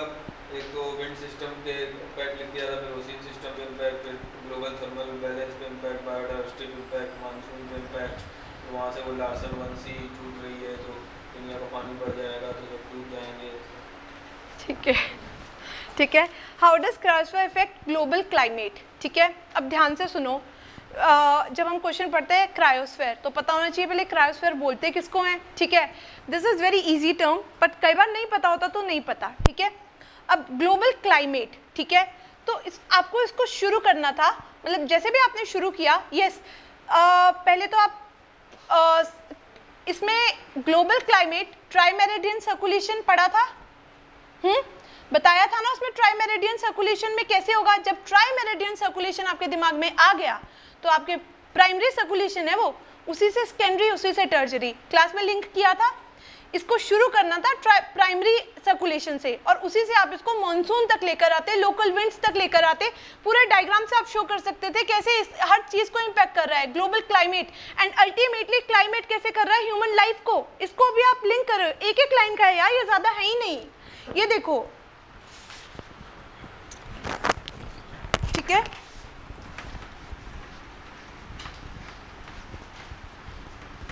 ये है how does cryosphere effect global climate ठीक है?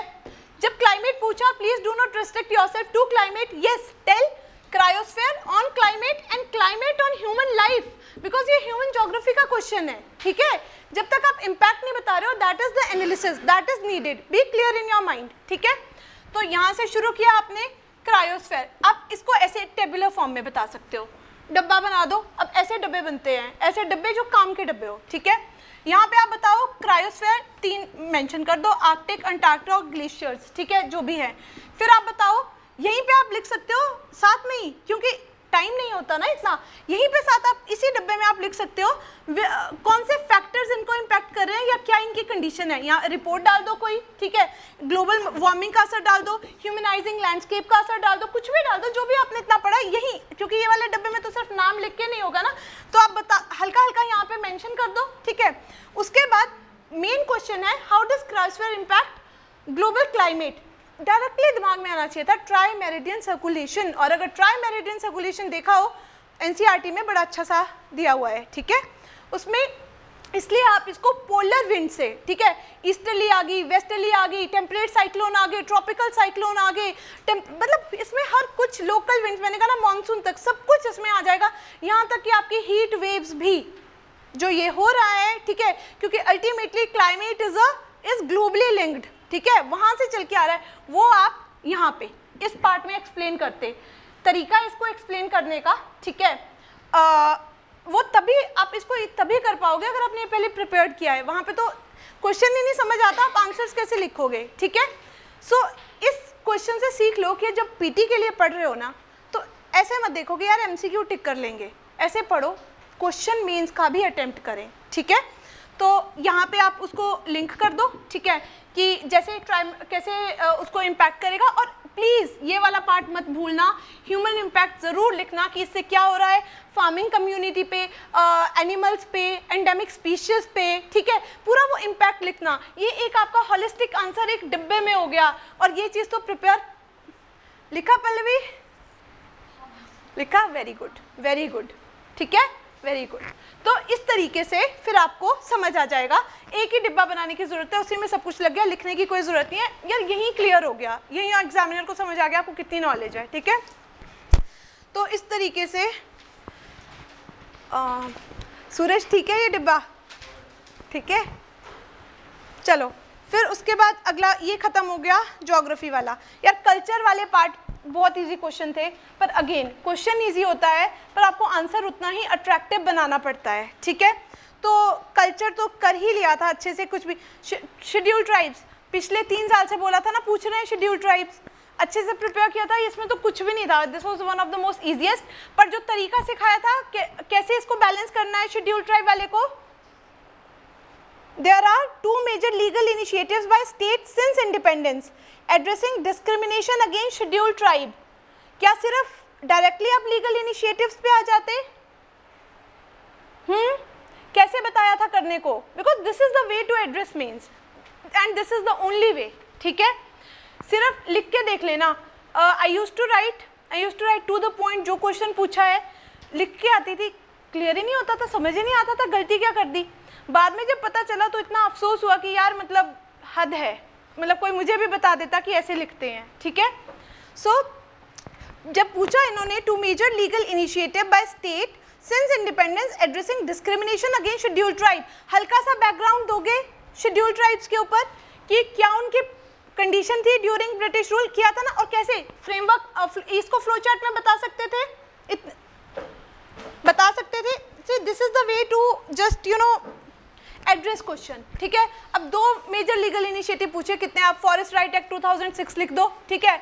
आप फिफ्थ शेड्यूल सिक्स शेड्यूल लिख दो ठीक है? आप पीसा लिख दो आप कुछ भी लिख दो यार इतने सारे मतलब वो है ठीक है? तो दे सिर्फ़ उन दो को नहीं लिखो। आप पहले मैंने क्या बोला था कि उनको एनालिसिस चाहिए आपका। तो आप पहले उनको समझाओ तो कित, और कितना वन थर्ड पार्ट बोला था मैंने ठीक है? तो कैसे इस क्वेश्चन को आप एड्रेस कर सकते थे?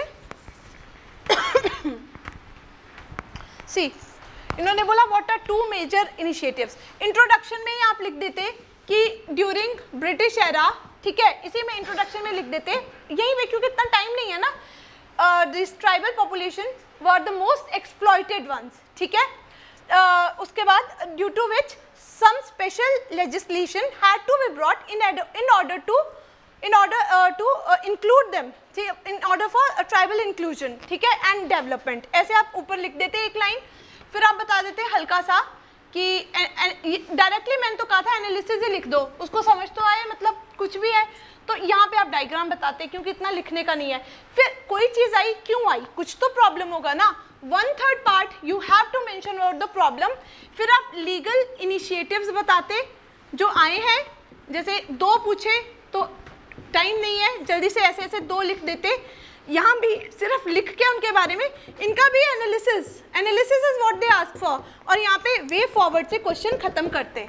ये स्पीड आपकी तभी बनेगी अगर आप रोज प्रैक्टिस करोगे, अगर आप सोच रहे हो कि आप वहीं आइंस्टाइन बन जाओगे तो सॉरी ये नहीं होने वाला, ठीक है? प्लीज़ डू प्रैक्टिस एकदम दिमाग में आ जाना चाहिए कैसे? इसको चलो वन मतलब ट्वेंटी पार्ट ले लो। कुछ तो आप बताओगे कि ट्राइबल प्रॉब्लम क्या चल रही थी जो उनके लिए स्पेशल आना पड़ा। नाम नाम ही लिख दो डिस्प्लेसमेंट लैंड एलियनेशन एक्सप्लोटेशन कुछ भी लिख दो indebtedness poverty health issues cultural loss तो ये ऐसे एक हल्का सा बता दो, क्योंकि आपने इंट्रोडक्शन में लिख दिया है, ठीक है? फिर आप लिखो therefore specific legal initiate there many specific legal initiatives like ठीक है? दो को मेंशन कर दो। कोई भी दो जो आपका मन हो, ठीक है? फिर उसका हल्का सा एनालिसिस एक लाइन पॉजिटिव एक लाइन नेगेटिव पॉजिटिव में उन्होंने, उसने क्या किया? नेगेटिव में कहाँ फेल हो गए? एंड वे फॉरवर्ड को ही कंक्लूजन बना दो। इसी के साथ कंक्लूड कर दो कि because of this thing because of this thing ठीक है? ऐसा है बट अभी यहाँ पे हाका कमिटी रिपोर्ट या कुछ भी ऐसे करके ऐड करके आप वे फॉरवर्ड में होलिस्टिक खत्म क्वेश्चन ठीक है? You don't only have to write just to legal initiatives ठीक है? ठीक है? हम्म? ये आपको अबव एवरेज मार्क्स 110 परसेंट दिलाएगा। एक और चीज़ मैंने देखा, कुछ, क्योंकि इकोनॉमी का पेपर क्लास से आया था, ठीक है? 20 में से 19 क्वेश्चन आए थे क्लास से, ठीक है? तो बच्चे बहुत खुश हो गए, खुशी में उन्होंने गड़बड़ कर दी। इतना ज़्यादा लिखा, इतना ज़्यादा लिखा बैलेंस ही नहीं कर पाए मन कर, मैंने बोला था कि छोड़ देना टाइम देख के करना, पर वो मन मानता नहीं ना जब हमें आता है बहुत ज़्यादा। तो दस बारह क्वेश्चन के, दस बारह क्वेश्चन के बाद पाँच छः क्वेश्चन में तो ऐसा हुआ कि बस भागना पड़ा। तो ये गलती मैंने हमेशा बोली, चलो हो जाती है, हम बच्चे ही हैं, ठीक है? तो इज़ ये गलती तब नहीं होगी जब आप अपने दिमाग में वो पैरामीटर अब देखो 10 से 15 मिनट वाली गेम खेली ना कोई भी गेम खेल सकते हैं। तो वो अपने दिमाग में बिठा के चलो यार कि मेरे को नहीं लिखना तो नहीं लिखना तो नहीं लिखना, ठीक है? अब फ्री में देते हो किसी को कुछ? रेंट दोगे फ्री में? दस हज़ार है, बारह दोगे? तो एग्जामिनर को क्यों वर्ड्स दे रहे हो? जब वो सौ मांग रहा है, एक सौ बीस क्यों दे रहे हो? ठीक है? कंजूस बनो, दिलेर नहीं बनो, है ना? उतना ही दो जितना मांगा है, ठीक है? चलो तो ये समझ आ गया आपको कैसे एड्रेस करने होते हैं ये वाले क्वेश्चन ये पहले हमने वो वाला पार्ट किया जो नहीं आता। भाई, मुझे तो नहीं आता, ठीक है? फिर भी मैं उसको करूँगी, क्योंकि मुझे पता है, एक, मान लो चार क्वेश्चन नहीं आते ढंग से, ठीक है? दो लाइन लिखने के बजाय मैं पूरा पूरा लिख रही हूँ, वो मुझे गारंटी है चार नंबर तो वो दे ही देगा। Four four jar sixteen can you believe sixteen marks क्या कर सकते हैं? जीएस में सिक्सटीन मार्क्स क्या कर सकते हैं? ठीक है? फिर चाहे उन चार क्वेश्चन की वजह से आपको बाकी सोलह बहुत अच्छे से आते हो, फिर भी कमी तो रह जाएगी ना, फिर आपको अफसोस होता रहेगा और हर साल ऐसा होगा। एक तो पीटी ढंग से पढ़ो। अभी प्रीलिम्स की तैयारी शुरू करने का टाइम आ गया है। दिसंबर बाय लेटेस्ट है, ठीक है?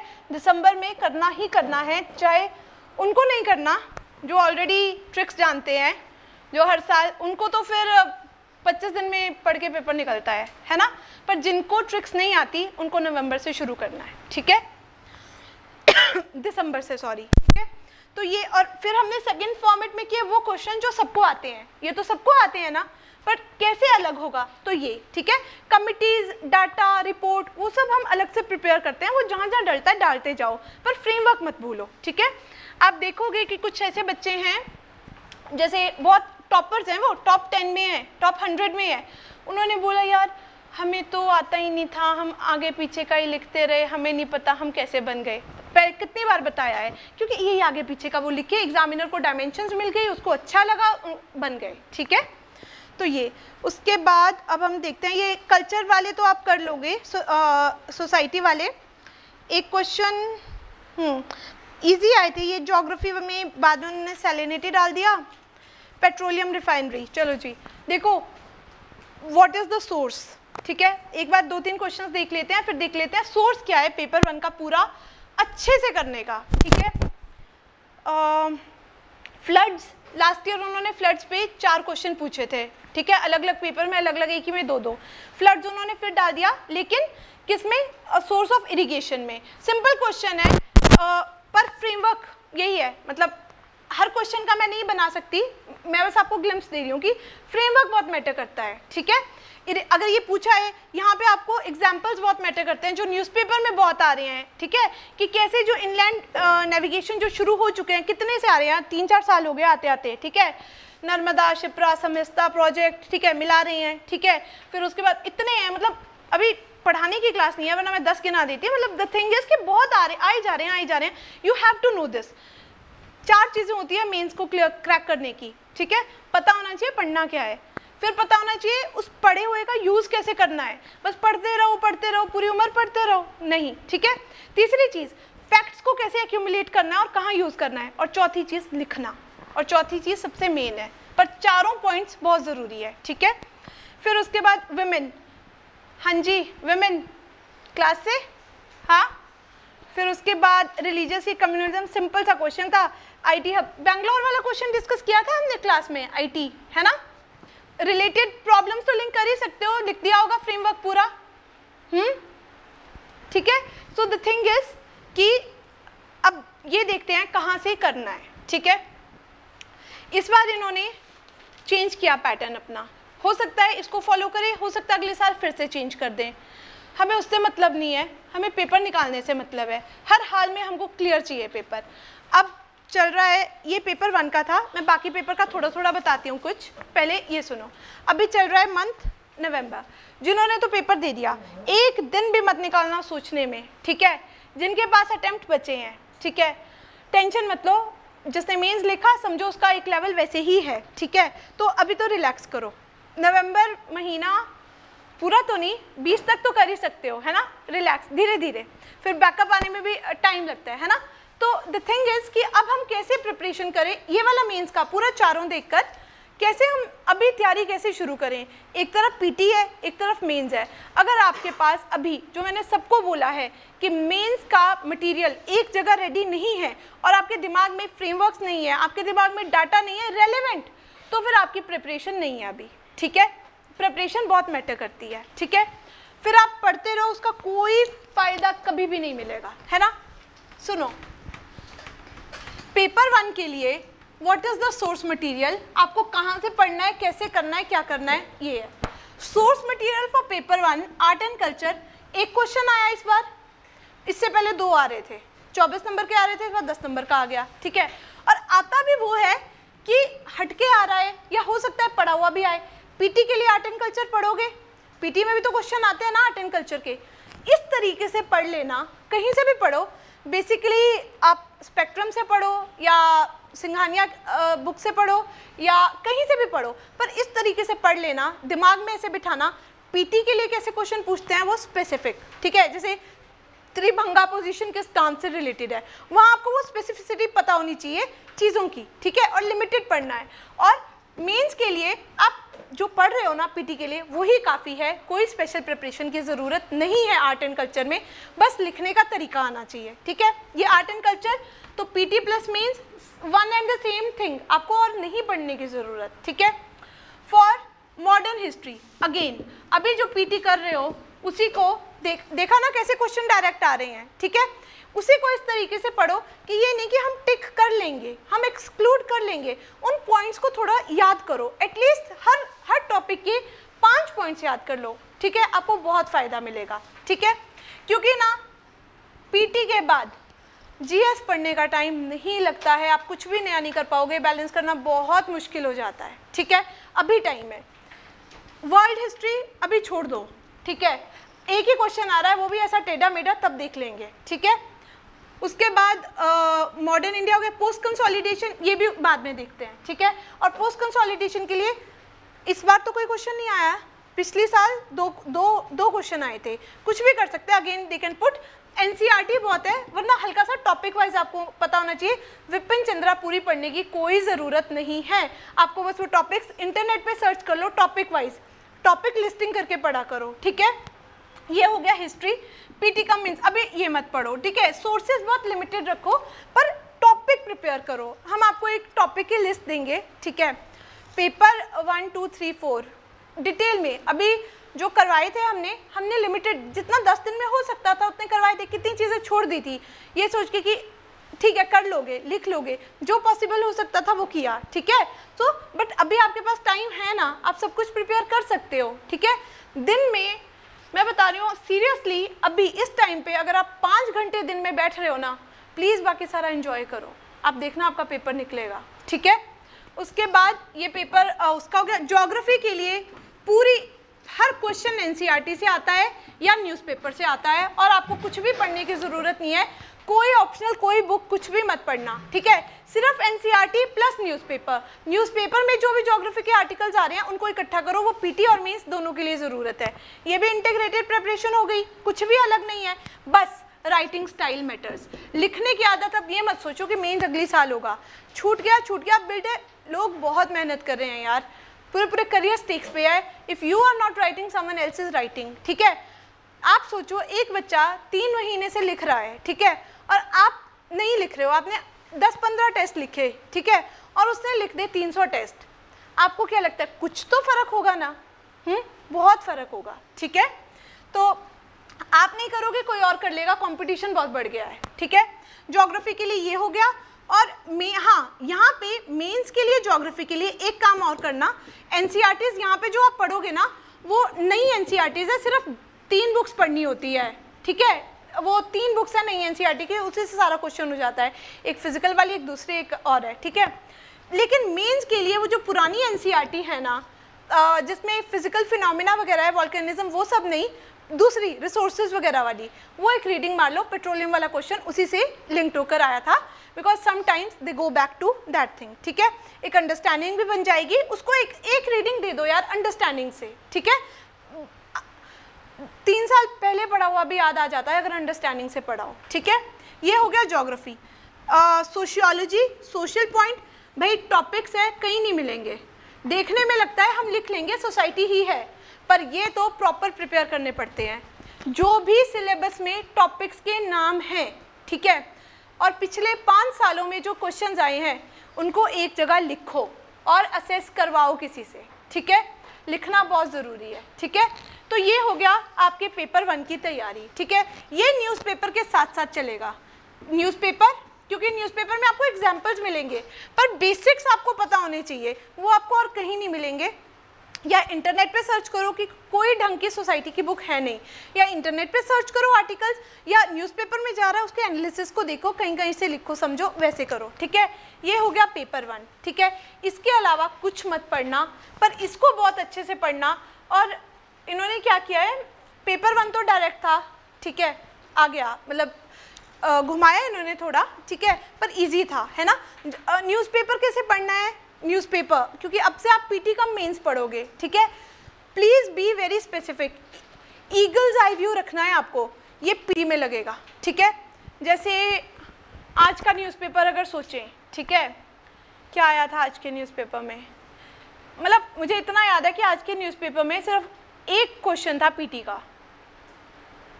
मुझे याद नहीं आ रहा क्या। ठीक है? पर सिर्फ़ एक क्वेश्चन बनता था, आपको वो व्यू रखना है, उसके पीटी करके प्रिपेयर कर लो। बाकी मेंस आज का न्यूज़पेपर में ज़्यादा कुछ था नहीं। आर्टिकल 35 ए के ऊपर उसने बोला कि नहीं दिस इज़ नॉट जो है। पर आपको पता है 35 ए 370 वो साथ साथ में ना एक ही न्यूज़ छः छः महीने चलती है अलग अलग एंगल्स आते हैं। ठीक है? आप अपने टॉपिक्स प्रिपेयर करते रहो न्यूज़ से सिर्फ़ वो पॉइंट ऐड करो। इस तरीके से मेन का अक्टूबर अक्टूबर से शुरू कर दो असेंबल करना। अक्टूबर नहीं हुआ तो नवंबर से तो कर ही दो, ठीक है? इससे डिले मत करना प्लीज़ पीटी में भी रह जाओगे और मेंस में भी मज़ा नहीं आएगा, ठीक है? अब मटेरियल इकट्ठा करने का टाइम है और टॉपिक्स ठीक है? ऐसे करो, ये वाला हो गया। अगर हम पेपर टू देखें, इस बार पेपर टू काफ़ी न्यूज़ से आया था, ठीक है? कुछ ट्रेडिशनल क्वेश्चन भी थे और न्यूज़ से भी था। देखो लोकल सेल्फ गवर्नमेंट ये तो सिंपल सा क्वेश्चन था। सिंपल सा क्वेश्चन था। ये तो डायरेक्ट है यार। एक सुनो, एक टॉपिक की लिस्ट होती है बेसिक जो आपको तैयार करनी ही करनी है हर हाल में, ठीक है? एक लिस्ट होती है करंट अफेयर से रिलेटेड वो आपको करंट अफेयर से अब करनी है। अभी तक आप सबकी बेसिक लिस्ट तैयार हो जानी चाहिए अगर आप फ़र्स्ट टाइमर्स नहीं हो, ठीक है? नहीं हुई तो दिसंबर तक का टाइम है। अपनी बेसिक लिस्ट को मत छोड़ो। बेसिक बहुत अच्छे नंबर दिलाता है, ठीक है? और करंट उसको आपको कहीं और ही पहुंचाता है। ठीक है? तो ये पेपर टू में मिक्स देखेंगे। फिर एन यार इतने टाइम से चल रहा था। किया था क्लास में अच्छे से? हम्म? ये तो सब नहीं किया होगा। क्लास में नहीं किया बुकलेट्स में किया। यार इजी सा था डायरेक्ट है ठीक है? साइमल्टेनियस सिलेक्शन ये भी बहुत टाइम से रोज चल रहा था। कुछ भी नया नहीं। प्रेशर ग्रुप बेसिक क्वेश्चन लिखा हुआ है सिलेबस में। देख के लगता है हम लिख देंगे। प्लीज़ प्रिपेयर करो। लिखा जैसे करवाया था proper hmm?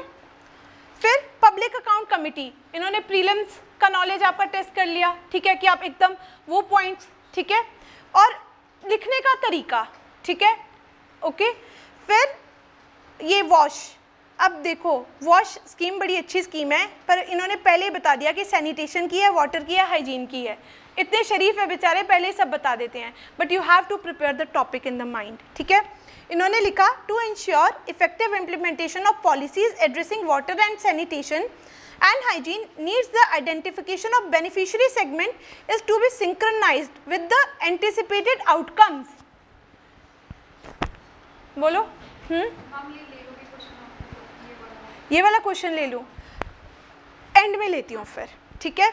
So this identification of beneficiary segment is to be synchronise with anticipated outcomes examine the statement in context of wash scheme newspaper में आई थी, ठीक है? आई थी एक बार। स्कीम के पॉइंट्स आए थे। स्कीम का एनालिसिस कहीं नहीं आया, ठीक है? इतना तो नहीं पढ़ सकते कि क्या हुआ, क्या नहीं। पर बेसिक आपने अगर स्वच्छ भारत मिशन ही पढ़ा होगा थोड़ा तो आपको डाटा डूटा आपने इकट्ठे कर ही लिए होंगे कि कितने परसेंट ओपन डेफिकेशन कितने परसेंट बीमारियाँ जो है वो इवन यू इकोनॉमिक सर्वे में है how malnourishment is link to lack of hygiene इतना डाटा था, इतना डाटा था, ठीक है क्या आप उसको, इसका नाम लगा के मिक्स नहीं कर सकते थे। फिर आप बता सकते थे कि इतना पैसा मतलब फंड्स आर बीइंग यूज़ ठीक है। थोड़ा सा स्कीम के बारे में बताओ, कैसे है उसको आउटकम्स के साथ लिंक करना है? इतना डाटा था आपके पास, आप उसको डायरेक्टली लिंक कर सकते थे। कुछ सक्सेस भी पढ़े थे, कुछ नेगेटिव्स भी पढ़े थे। ये तो प्रिपेयर टॉपिक है ना, बस आपको लिखना था। हुँ? फिर उसके बाद पर्सन विद डिसेबिलिटी यार ये तो करना ही होता है। किया था क्लास में? किया था? फिर उसके बाद hunger poverty good governance simple से क्वेश्चन थे यार। इस बार लास्ट ईयर भी यूएन का इन्होंने पूछा था, इस बार भी इन्होंने यूएन का एक और ऑर्गेनाइजेशन पूछ ली पहले वर्ल्ड बैंक आईएमएफ और डब्ल्यूटीओ पूछ रहे थे, अब यूएन का जाता है तो बेसिक कॉमन सेंस है कि यूएन की जितनी भी आगे पीछे की वो है, उनको आप तैयार कर लो, ठीक है? फिर उसके बाद ये बोल रहे हैं जीएसटी आ गया। जीएसटी हमने पेपर टू और पेपर थ्री दोनों में किया था। मैंने आपको डिफरेंस बताया था। काम आया? काम आया? बोलो मुँह से। ठीक है। चलो। फिर उसके बाद right to privacy as simple as that it ठीक है? उसके बाद ज्वाइंट सिटिंग सिंपल पीटी का नॉलेज सर आप इसमें लिख देते, ठीक है? फिर इलेक्शन कमीशन इलेक्टोरल रिफॉर्म्स तो कब से चला रहे हैं? इस बार तो न्यूज़पेपर में भी तीन आर्टिकल आए थे, और हमने क्लास में भी अच्छे से किए थे। लिख दिए इलेक्टोरल रिफॉर्म्स हम्म? फिर नेशनल कमीशन फॉर वुमेन ये कंफ्यूजिंग है, डर नहीं जाना इसको देख के। पूरा क्वेश्चन पढ़ना है, क्या है? Is the national commission for women able to strategise and tackle the problem that women face at both public and private sphere यार, भूल जाओ नेशनल कमीशन ऑन वुमेन को। सीधे रखो कि जो वुमेन की पब्लिक एंड प्राइवेट स्फेयर में प्रॉब्लम्स है, क्या वो टैकल हो रही है या नहीं हो रही? ये तो बस मिजनो मर है आपको ऐसे डराने के लिए कि आपने नहीं पढ़ा भाई, ठीक है? तो डरना नहीं है। Give reason in support of your answer तो लगा दो, जहाँ पॉजिटिव है, जहाँ नेगेटिव है पब्लिक एंड प्राइवेट स्फेयर में। अरे, जितने भी लॉज आए होंगे, कहीं ना कहीं नेशनल कमीशन ऑफ़ वुमेन ने कुछ तो बोला होगा उनको रिलेटेड ठीक है? रेप लॉज है एसिड विक्टिम के लिए कुछ भी है मतलब आप कितना कुछ लिख सकते थे यार, डरना नहीं है बस। जहाँ आप डर गए, आप कभी कुछ नहीं लिख पाओगे। और जहाँ पे आप नहीं डरे ना, आप ऑथर बन जाओगे, ठीक है? हम्म? चलो। उसके बाद self help group direct question यार, इस बार पेपर इजी आया था, बहुत इजी आया था, ठीक है?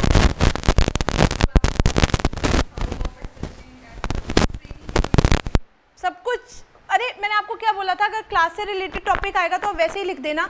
हम सारे पैरामीटर्स एड्रेस कर रहे हैं, कम कम में आपको मार्क्स मिलेंगे, ही मिलेंगे, ठीक है? फिर पॉवर्टी एलिवेटेड प्रोग्राम दिया आपने, वो पॉलिटिकल इसमें क्या लिखा, जरा बताना? बताओ ये क्वेश्चंस अरे, बहुत इजी क्वेश्चन है। इसमें आपने कैसे आपका एनालिसिस है ना, इसमें आप सब कुछ लिंक कर सकते हैं। अच्छा बताओ इसमें। वोहरा कमेटी की रिपोर्ट डाली किसी ने? डाली? गुड इसमें आप कमेटी की रिपोर्ट पॉलिटिकल करप्शन नेक्सस कितना गुनार में अरे यार, इतने सारे हमने किए। ये तो क्लास में लिखाया हुआ है। हम्म? ठीक है?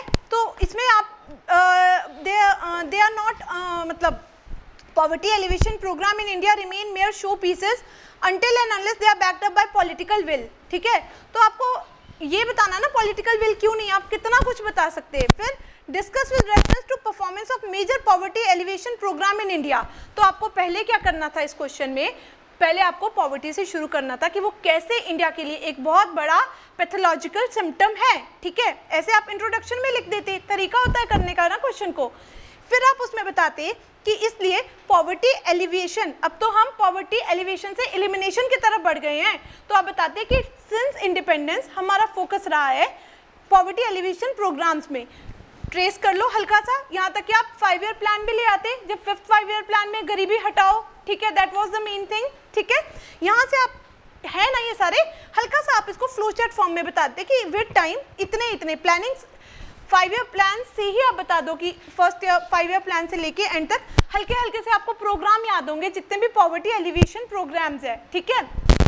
उनके बारे में आप हल्का हल्का लिख देते कि इतने आए, फिर आप बताओगे, पर वो सक्सेस नहीं हो पाए। अभी भी इंडिया में, फिर यहाँ आप डाटा प्रोवाइड कर देते कि इंडिया में कितनी परसेंट अभी भी लोग पुअर हैं, ठीक है? वेरियस वेरियस रिपोर्ट पॉवर्टी से ज़्यादा सीरियस क्या है? फिर उसके बाद poverty is worse form of discrimination फिर उसकी वजह से वेरियस प्रॉब्लम है। तो आप बताओ कि इसके लिए पॉलिटिकल विल वेरियस कमिटीज़ ने बोला है कि पॉलिटिकल विल बहुत ज़रूरी है बिकॉज़ फंडिंग इतना परसेंट जीडीपी स्पेंड होता है। ये हर बार आता है इतना प्रोग्राम्स में, ठीक है? फिर आप लैक ऑफ़ पॉलिटिकल विल क्यों है? वो कमिटी कमिटी की रिपोर्ट, थोड़ा सा नेक्सस थोड़ी सी प्रॉब्लम्स बता सकते हो। क्रिमिनलाइजेशन और पॉलिटिक्स आप यहाँ पे ऐड कर सकते हो, ठीक है? फिर उसके बाद आप वोरा कमेटी की रिपोर्ट नेक्सस बता सकते हो। उसके नेपोटिज्म मतलब इतना कुछ आप बता सकते हो कि इन रीजंस की वजह से पॉलिटिकल विल नहीं है। कंक्लूजन में आप वे फॉरवर्ड दे सकते हो कि कैसे की जा सकती है। मोर अकाउंटेबिलिटी ठीक है?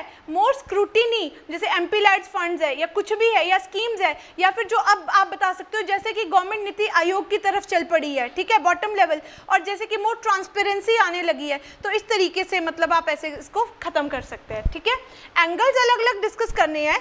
क्वेश्चन में उस देखकर ये एक होलिस्टिक आंसर हो जाता है। जब पढ़ने वाला है, उसको भी समझ आ जाती है। वरना एक चीज़ हमने बताई थी कि दो तरीके के एग्जामिनर होते हैं। एक जो आंसर पढ़ते हैं, एक जो आंसर नहीं पढ़ते, ठीक है? कोई मुझे सुना कर दे इसमें ठीक है? द थिंग इज़ मैंने बताया था, लिखना आपको वही है। पर वो आपके आंसर पढ़े तो क्या करना है? यही एंगल्स आने थे ना सारे। पर आपको गैप छोड़ना है हर पॉइंट के बाद। इतना इतना लिख दिया। यहाँ कोई डायग्राम डायग्राम बनाने की ज़रूरत नहीं है। ये सिंपल एनालिसिस है। गैप छोड़ दिया आपने। दो दो लाइन का इतना इतना गैप छोड़ दिया। They will hundred and ten percent और है मतलब जो लिख रहे हो उसको अंडरलाइन जैसा कर दिया कि क्या है या कुछ है। सामने क्वेश्चन समझ आ जाता है। आप ही पढ़ के देखना, है ना? सामने क्वेश्चन एनालिसिस फॉर्म में मिलता है, ठीक है? तो इस तरीके से इस आंसर को आप कर सकते थे। सिविल सर्विस रिफॉर्म्स वेरी इतना सिंपल पेपर डाला था ना इस बार उन्होंने। अच्छा आपने कमिटीज़ डाल दी सारी? कितनी कमिटीज़ की थी हमने? वेरी गुड वेरी गुड सारी सारी डाल दी? इसमें तो पूरा लिखाया था एक पेज है ना? शाबाश। ठीक है, इसमें आप सारी कमिटी की रिपोर्ट्स डालते हैं जो सिविल सर्विस रिफॉर्म को लेके। ये टॉपिक्स प्रिपेयर करने वाले हैं, ये बेसिक टॉपिक्स हैं, ठीक है? फिर उसके बाद क्वेश्चन ऑफ़ एनर्जी सिंपल था ये। आपको बोला था ना लिंक कर देना। West Asian country West Asian country के थोड़े से रिसोर्सेज तो हमने किए थे। इस बार मैंने बोला था ना वेस्ट एशिया पूछेंगे। याद है किसी को या मुझे याद है? ना कोई हाँ ना कोई ना। हाँ? बोला था ना वेस्ट एशिया दो ही चीज़ें की थी हमने, तीन। ऑस्ट्रेलिया अफ्रीका वेस्ट एशिया और मैंने कहा था, मुझे लग रहा है वेस्ट एशिया पूछेंगे। पूछ लिया ना? ठीक है? फिर Indian diaspora appraise the role of Indian diaspora in South East Asian बड़ा ही घटिया सा क्वेश्चन था। वट्स एवर वट्स एवर पर फिर भी आप इसमें डायमेंशंस बता सकते थे। बता सकते थे ना? जिसने डायस्पोरा का क्वेश्चन प्रिपेयर किया होगा, वो डायमेंशन लिख देगा कि कैसे पहले इंडेंटेड लेबर थे, फिर उसके बाद ब्लू कॉलर वर्कर हुए और अब कैसे कैसे हाई प्रोफ़ाइल में जा रहे हैं एंड उसके बाद इसमें आप इसको लिंक कर सकते थे। Role of Indian diaspora in South East Asia में आप इसको टेक्नोलॉजी में लिंक कर सकते थे टूरिज़्म में लिंक कर सकते थे कल्चरल लिंकेजेस कर सकते थे। उसके बाद फॉरन पॉलिसी में, ठीक है इंडिया के लिए ईशानी इंपॉर्टेंट हो रहा है, ये सब मतलब this is the thing dimensions ठीक है? वैसे करके आप इस को एक आध आपको एग्ज़ाम्पल पता हो न्यूज़पेपर्स में आते रहते हैं तो नाम लगा दो, हो गया, ठीक है? तो ऐसे तो जो बेकार का क्वेश्चन होता है, उसको भी आप अच्छा बना सकते हो, क्योंकि बाकी नहीं बनाएँगे, वहीं पे आपको एज मिल जाएगा, ठीक है? तो पेपर टू कहाँ से आया था, ज़रा देखें हम्म? बेसिक से क्या क्या आया था, ये देखो लोकल सेल्फ गवर्नमेंट पंचायत या ये तो आने ही थे, ठीक है? ये तो बेसिक है। N J A C this was very common in news जो पता था रोज़ का अखबार ज़रूरत नहीं है। रोज़ का अखबार अंडरस्टैंडिंग प्रोवाइड करता है, ठीक है? पर टॉपिक्स प्रिपेयर करना बहुत ज़रूरी है। साइमल्टेनियस सिलेक्शन ये भी न्यूज़ में चल रहा था। Pressure group basic public account committee basic फिर वॉश ये तो लिख लोगे आप। पर्सन विद डिसेबिलिटी ये तो लिखना ही था मतलब ईजी था यार पेपर और ये वाला पार्ट तो प्रिपेयर उसके लिए इजी जिसने प्रिपेयर करके रखे होंगे सारे पार्ट्स और जिसने सोचा, पढ़ के मैं लिख लूँगा, उसके लिए कभी कोई पेपर इजी नहीं होगा, ठीक है? Any doubts paper two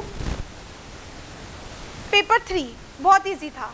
बहुत इजी था. पेपर थ्री पूरा पेपर ट्रेडिशनल पार्ट से आया था. अगर आप अपना थोड़ा सा दिमाग लगाते तो. ठीक है? पेपर थ्री की लिस्ट दी थी.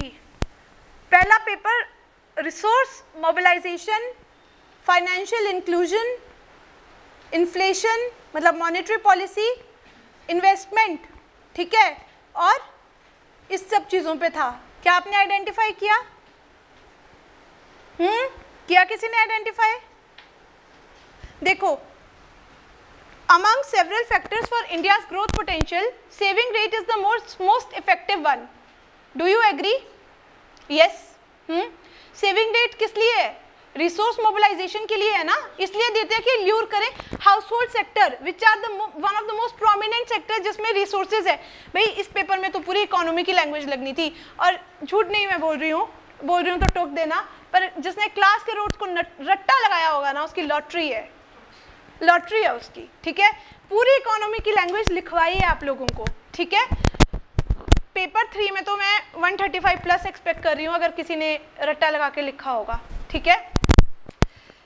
ऐसे ऐसे क्वेश्चन थे। पेपर थ्री में सिंपल इन सिंपल वर्ड्स आपको पेपर थ्री में प्रिपेयर करना है बेसिक पार्ट बेसिक पार्ट आप कोई भी एक ट्रेडिशनल बुक ले लो इकोनॉमी की, उसे टॉपिक नहीं. आप उठाओ सिलेबस सिलेबस में एक एक टर्म दी हुई है. रिसोर्स मोबिलाइजेशन दिया हुआ है इंक्लूजन दिया है.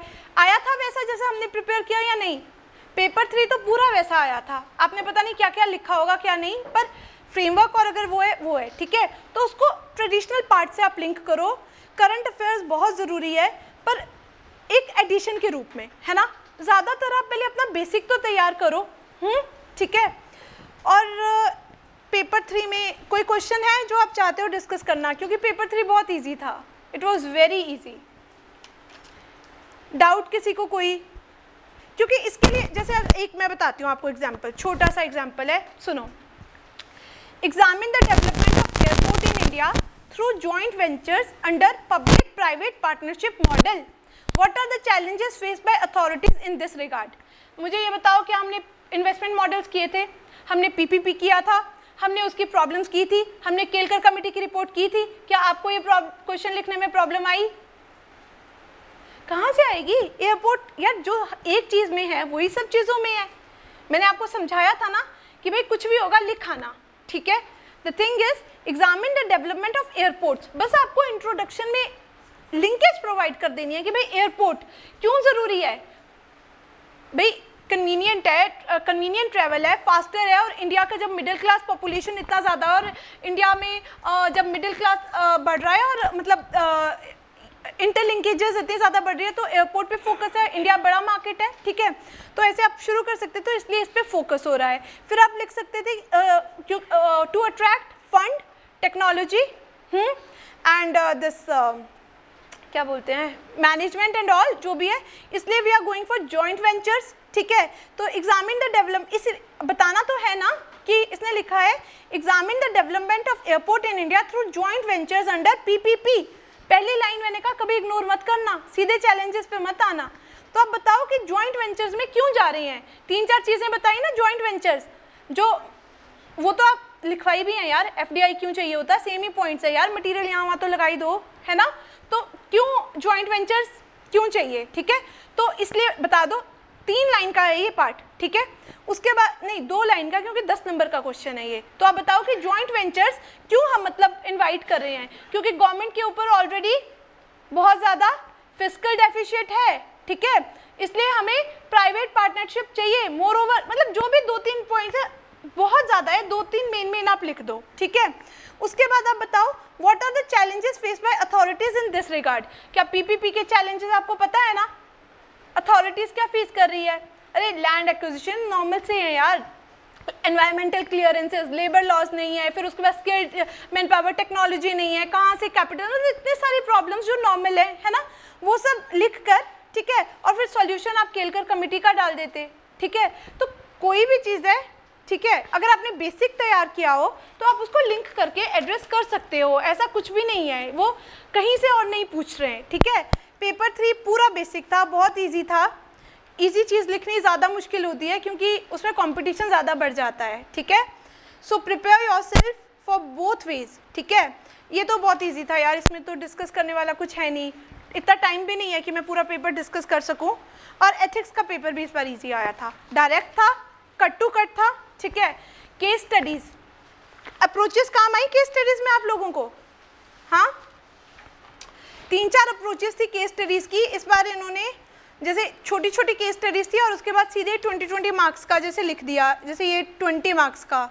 You are an aspiring you are aspiring to become an I officer वाला, ठीक है? एक एक डील कर लेते हैं पार्ट को कि ऐसे कैसे करना है, ठीक है? बेसिकली यहाँ पे इसलिए बुलाया था जस्ट पुराने बच्चों से मिलना चाहती थी पर सारे घर बैठे हैं फ़ोन पे बात कर रहे हैं, ठीक है? Maximum people are at home और uh, वो बोले जो यहाँ पे है वो बोले मैम इतना थक गए पेपर देखे और लेक्चर नहीं सुन सकते. रिकॉर्ड होगा बाद में सुन लेंगे। Actually I wanted to meet them और बाकी लोग को इसलिए इनवाइट किया ताकि एटलीस्ट सीख लो। अभी भी सीख लो। पेपर जो आ रहा है वो बहुत ईजी है ठीक है? तीन चीज़ें मत भूलो ठीक है? कुछ चीज़ें दस दस दिन की क्लास में जिन्होंने प्रिपेयर कर तो लिया है आपका मटेरियल प्रिपेयर्ड है, पर कुछ चीज़ें लिमिटेड थी। जो छूट गए हैं टॉपिक्स टॉपिक लिस्टिंग करके उनको प्रिपेयर करो, ठीक है? वी आर प्रिपेयरिंग टॉपिक्स हम प्रिपेयर कर रहे हैं धीरे धीरे मिलते रहेंगे, वो सारे प्रिपेयर करो ढंग से, ठीक है? फ़र्स्ट थिंग अपना बेसिक दिसंबर तक का टाइम है आप, आपके पास, अगर अभी भी नहीं, ठीक है? बेसिक प्रिपेयर करो प्लस न्यूज़पेपर को इस तरीके से पढ़ो कि कैसे काम आए, कहाँ इतनी अखबारें पढ़ ली यार, इतनी अखबारें, फिर जब काम ही नहीं आ रहा है, क्या फ़ायदा, है ना? दूसरा पीटी और मेंस को कैसे बैलेंस करो? ठीक है? ये तीन चीज़ें मेन हमारा वो है। पीटी और मेंस कैसे बैलेंस करना और न्यूज़पेपर कैसे करना, ये पार्ट टू में होगा एट्थ को, ठीक है? तब बता सकते हैं। अभी तो थोड़ा सा पेपर देखना था, कैसा आया है। डरने की कोई ज़रूरत नहीं इजी आया है। जिसने प्रिपेयर किया है ना, उसके लिए बहुत ईजी है। जिसने नहीं किया ना, उसके लिए कभी कुछ ईजी नहीं होगा, ठीक है? ये वाला देखो एक question you are aspiring to become an IS officer and you have cleared various stages and now you have been selected for interview. On day of interview, on the way to the venue, you saw an accident where a mother and child who happened to be your relatives were badly injured. They needed immediate help. What would you have done in such a situation? Justify your answer. बताओ भाई tell Sandeep 20 number का question है you have attended ethics batch then you tell बताओ। बताओ यार, क्योंकि आप अभी पार्टिसिपेट नहीं करोगे, दिमाग वहाँ कभी काम नहीं करेगा। प्लीज़ बताओ। हमें सिर्फ़ लगता है अभी बहुत टाइम है। टाइम नहीं है है ना? एक बार तैयार हो गए ना, अभी हम जब प्रिपरेशन करेंगे ना दो महीने पहले आप हर चीज़ के लिए तैयार हो गए, उसके बाद आप बोलोगे टाइम कैसे काटूँ? तब मैं बोलूँगी, अब ऑप्शनल पढ़ो। ठीक है? चलो, बताओ ट्राई करो संदीप। क्वेश्चन चाहिए? ये देखो। पढ़ना मत, जो मैंने लिखा है। ठीक है? Please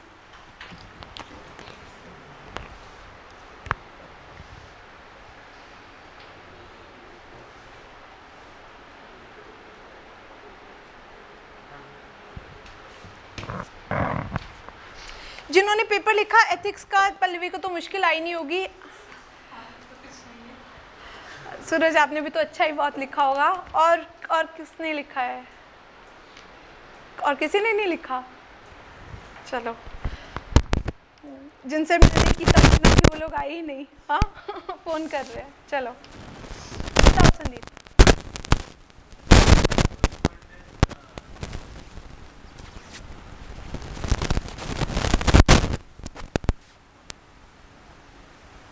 hmm It was a inter- it was a day of interview, so you will be one day, one hour before you go to the exam hall.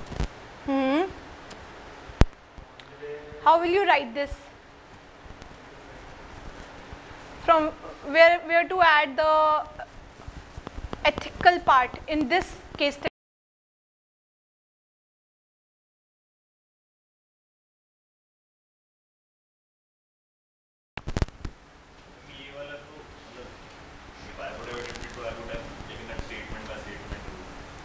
आपने क्लास अटेंड किया भी, आप रुको आपसे मैं पूछूँगी, इसके बाद आपसे ही पूछूँगी कोई और बताओ हाँ बताओ प्लीज़ प्लीज़ पार्टिसिपेट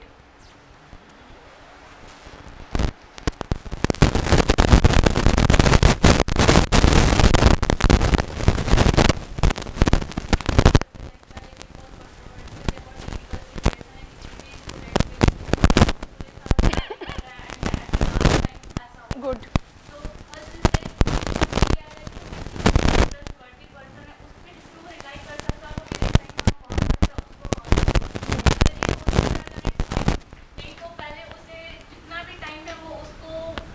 पहले कंसीडर करे उस मदर एंड चाइल्ड को और देन वो इंटरव्यू कोर्ट में थोड़ा लेट भी पहुँचे और वहाँ ट्राई टू कन्विंस कि हाँ मैं मैं इस वजह से लेट हो गया लेकिन उससे पहले उस चीज़ से हैंडल करना चाहिए सामने ठीक है और कोई?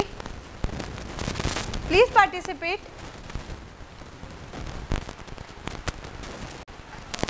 first point that is dilemma तो है ही मतलब कि हम्म सेल्फ इंटरेस्ट देखे या उनकी लाइफ जो ऑन स्टेक है हम्म and uh, they needed immediate help ऐसे लिखा है so if they needed immediate help so half an hour or one hour can be sufficient to help them hmm so if you are punctual enough to uh, uh, leave for interview one or two hours uh, earlier Hmm. then the problem will be solved easily hmm so punctuality for uh, one virtue I will uh, write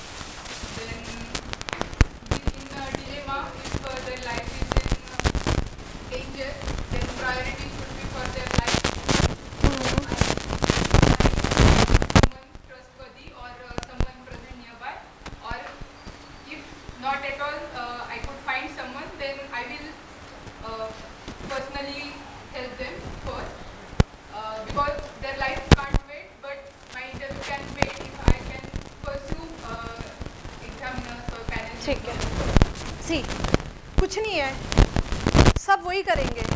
कोई नहीं बोलेगा कि मैं नहीं, मैं देखूँगा भी नहीं। बेशक, वैसे तो वैसे तो हर कोई हेल्प ही करेगा। बहुत ही रेयर कोई ऐसी स्पीशीज़ होगी जो देख के नज़रअंदाज कर दे। हो भी जाता है यार टाइम कम, घबराहट में कोई और कर देगा, मैं निकल लेता हूँ। That is very normal but लिखोगे तो नहीं ना। हर कोई यही लिखेगा, है ना? जब हर कोई यही लिखेगा तो how are you different from them तो डिफरेंट बनने के लिए ये नहीं लिख देना कि मैं नहीं हेल्प करूँगा। कैसे क्वेश्चन करना है? सी ये क्वेश्चन बहुत तंग करते हैं, क्योंकि 20 नंबर का क्वेश्चन है। खाली खाली इतनी बड़ी बड़ी शीट्स दे देती, दे दी होती है। यही सब सारे लिखेंगे, आपने भी यही बोला मोरलेस आपने भी यही बोला, हर कोई यही बोलेगा। तो ऐसे क्वेश्चंस कैसे अटेम्प्ट करें कि इंटरेस्ट भी बना रहे हमारा? क्योंकि एक पैराग्राफ लिखने के बाद लगता है अब क्या करें? फिर हम फ्लो चार्ट बना देते हैं, फिर वही नंबर तो नहीं आएँगे। येस नो राइट रॉन्ग ये, वो। कैसे करना है? पहले फ्रेमवर्क देखो देखो कि केस स्टडी कैसे करते हैं। ऐसे वाली केस स्टडी को अटेम्प्ट सिर्फ़ एक टाइप पाँच टाइप की केस स्टडीज़ होती है, पाँच तरीके होते हैं करने का। हर बार वो आती है, एक सिर्फ़ एक यहाँ पे देखो। पहले तो ये है जब जो मैंने ये बोला था ना कि जो भी 20 नंबर की होगी या 25 नंबर की होगी, उसमें आप क्या करोगे? ये है इतनी छोटी सी, लिखना है इतना बड़ा। तो they have provided you ample space and ample time to write the ethical analysis analysis part पहले आपका पूरा आएगा। एनालिसिस पार्ट में आप लिखोगे एज इन दिस केस ठीक है? उसमें आप क्या लिखोगे वो भी मैं बताती हूँ, पर पहला पार्ट फ्रेमवर्क सुन लो एनालिसिस आएगा, ठीक है? जो आपका काफ़ी वर्ड्स का होता है, जैसे 250 वर्ड्स लिखे हैं इन्होंने, मान लो तो 50 वर्ड्स आपके एनालिसिस के आएँगे, ठीक है? After 50 words of analysis analysis में क्या आएगा, ये मैं आपको बता देती हूँ, ठीक है? अब आते हैं आपके actions actions yes no what is not important important is not what you will do important is what is your understanding what explanation you will provide how ethical how ethically you can define your action ठीक है तो यहाँ पे बड़ी बड़ी terms कभी नहीं use करना डियोंटोलॉजिकल कांतिज्म ये सब नहीं है ठीक है बेसिक चीज़ें आपको लिखनी है पर हाँ उन्हीं के हुए बताए हुए पैरामीटर्स पे ठीक है एक्शंस आगे यहाँ पे, पहले तो आपने एनालिसिस प्रोवाइड किया, क्या है मैं बताती हूँ आपको। सेकंड चीज़, आप क्या करोगे? ठीक है? हर कोई यही करेगा। पहले तो आप बताओ एक्शंस जो आप first thing you will do is you will think on one hand जैसे प्रेरणा ने बोला कि आपकी पूरी लाइफ का करियर है, ठीक है? एकदम नहीं बन जाना रॉबिनहुड या कोई ऐसा कि बस मैं तो वो कर दूँगा। ऑन वन हैंड ये, क्योंकि ये एक्सप्लेनेशन ये थॉट प्रोसेस मैटर करता है। ऑन वन हैंड मतलब this is a career for which you have sacrifice so much not only your time money ये, वो, सो बट ये, ठीक है? And on the other hand ये एक ऐसी चीज़ है कि अल्टीमेटली आप एक पब्लिक सर्विसेज़ में जाओगे, जो अल्टीमेटली आपने पब्लिक के ही काम आना है, ठीक है? तो यहाँ पे क्या हो रहा है? एक कॉन्फ्लिक्ट राइज कर रही है। किसके बीच में? बहुत सारी चीज़ के बीच में। उसका एनालिसिस हमने पहले ही दिया, ठीक है? फिर थिंक किया आपने ये। थिंक करके सपोजिटली जो, फिर आपने ऑप्शंस पहले अपना थॉट प्रोसेस लिखो, फिर अपने ऑप्शंस लिखो। क्या ऑप्शंस है? टाइम नहीं लिखा उन्होंने यहाँ पे कि आप लेट हो रहे हो या ऑन द पॉइंट है। आप लिखो, यहाँ पे लिख दो ना कि सिंस इंटरव्यू है उन्होंने बोला यू तो आप लिख दो ना सिंस मेरी आदत है टाइम से पहले निकलने की। टाइम लेके चलता हूँ यार यू कैन यूज़ इट उन्होंने नहीं लिखा है, ठीक है? तो क्योंकि, इसलिए मैं, क्योंकि मेरे पास टाइम है दे आर चेकिंग ठीक है? तो आप मेंशन कर दो सिंस टाइम है सो अभी आप क्या कर सकते हो? एंबुलेंस को कॉल कर सकते हो आपके रिलेटिव्स हैं, उनके घर पे इन्फॉर्म कर सकते हो। ये इंपॉर्टेंट नहीं आप क्या क्या कर सकते हो, ये इंपॉर्टेंट है क्यों? जब एंबुलेंस का भी लिखोगे ना तो reason ethical reason mental presence आपने क्या सोच के एंबुलेंस को कॉल किया, ठीक है? उनके घर पे, और मीन टाइम में आप देखोगे कि उनको फ़र्स्ट एड अवेलेबल हो पा रहा है या नहीं हो पा रहा है। यू जस्ट चेक कि उनको कितनी इंजरी है, ठीक है? ये सब करोगे। उसके बाद, अगर तो कोई आ गया टाइम पे तो ठीक है? आप उसके हवाले छोड़ के उनको चले जाओगे एंबुलेंस आ गई फ़ोन फ़ोन कर दिया, निकल लिए। उसके बाद भी आप, लेकिन इंटरव्यू खत्म होने के बाद आप देखने भी जाओगे, क्योंकि आप बहुत ही एथिकल हो और आपके रिश्तेदार भी है। और अगर कोई नहीं आया तो आप उनको लेकर जाओगे, ही जाओगे, और क्यों जाओगे? इसकी एक्सप्लेनेशन बहुत ज़रूरी है। क्यों? क्योंकि आप एक सिविल सर्वेंट हो, यहाँ पे आपको एग्ज़ाम्पल डालने हैं। बारह सिविल सर्वेंट्स के नाम और एग्ज़ाम्पल केस स्टडीज़ दी थी। उसमें से दो तीन का तो डाल ही सकते थे। एस आर शंकरन, बताया था ना? पर्सन क्या किया उन्होंने? पूरी उम्र कुआरे रहे भाई पब्लिक सर्विसेज़ के लिए। ही डिंट इवन मैरी ठीक है? फिर कितने हैं जिन्होंने अपनी लाइफ को ये कर दिया? बहुत सारे यार, बार लिस्ट लिखाई थी, पूरे केस स्टडीज़ है। यहाँ पे केस स्टडीज़ लगेगी। केस स्टडी में ही केस स्टडी लगती है ऐसे कि उस पब्लिक सर्वेंट ने ऐसा ऐसा कर दिया। कितने हैं उन्होंने? टू फाइट द करप्शन उनकी डेथ हो गई, ठीक है? माफिया ये जितना भी है। दो तीन प्रिपेयर प्रिपेयर तो करके जाने पड़ेंगे। उन्होंने कर दिया। तो मैं जो ऐसी सर्विसेज़ चाहता हूँ ठीक है? उन्होंने किया तो मैं क्यों ना करूँ? मेरे कॉन्साइंस और वर्ड्स यही आएँगे। कॉन्साइंस वैल्यूज़ आपकी ग्रामर की कोई वैल्यू नहीं है एथिक्स में। वर्ड्स आने चाहिए वैल्यूज़ आनी चाहिए ठीक है? तो वो ये सब हर लाइन में लगेगा। एथ, एथ, जैसे इकोनॉमिक्स में इकोनॉमिकल लैंग्वेज पेपर जीएस का सेम नहीं होता, हम गलती करते हैं। पॉलिटी में पॉलिटी वाली लैंग्वेज एथिक्स में पूरी एथिकल लैंग्वेज ठीक है? वो वो मुझे परमिट नहीं करती तो मैं ये करूँगा और करूँगी जो भी है, ऐसे ख़त्म, ठीक है? अब ये देख लो एनालिसिस और ये जो एनालिसिस है, वो तो आप एक प्रॉपर बता रहे हो सिचुएशन को रिफ्लेक्ट कर रहे हो अपनी आँखों से। फिर आप अपना एक्शन और बता रहे हो कि क्यों क्यों, क्या, ठीक है? यहाँ पे पूरे एथिक्स के वर्ड यूज़ किए। एनालिसिस में आप क्या क्या पहले आप आइडेंटिफाई कैसे करना है इन डेप्थ सुनो, ठीक है? पहले तो आप इस क्वेश्चन को देख के देखो क्या है। लाइन वाइज लाइन आप निकालोगे ना तो आपके पास मटेरियल की कभी कमी नहीं होगी। ऐसे सोचते रह जाओगे, नहीं लिखा जाएगा, ठीक है? देखो you are aspiring to become an I officer that means your dreams your personal dreams ठीक है? योर करियर ठीक है? पर्सनल इंटरेस्ट है, ये सब है। And that means you must be enthusiastic and passionate about it ये सब है। And have clear various stages मेहनत भी लगी आपकी. एंड में बहुत मेहनत करके आप पहुँचे. For personal interview on the day of interview on the way to the venue you saw an accident यहाँ पे अब एक्सीडेंट आ गया. तो पहले ही एक्सीडेंट देखते आपको गुड समेरिटन भी आ जाएगा याद. सुप्रीम कोर्ट ने इतना बोला. ठीक है. फिर अगर आप गुड समेरिटन ही नहीं हो तो फिर अच्छे पब्लिक सर्वेंट कैसे बनोगे? Where a mother and child who happen to be your relatives of badly injured अब देखो mother and child means vulnerable ठीक है?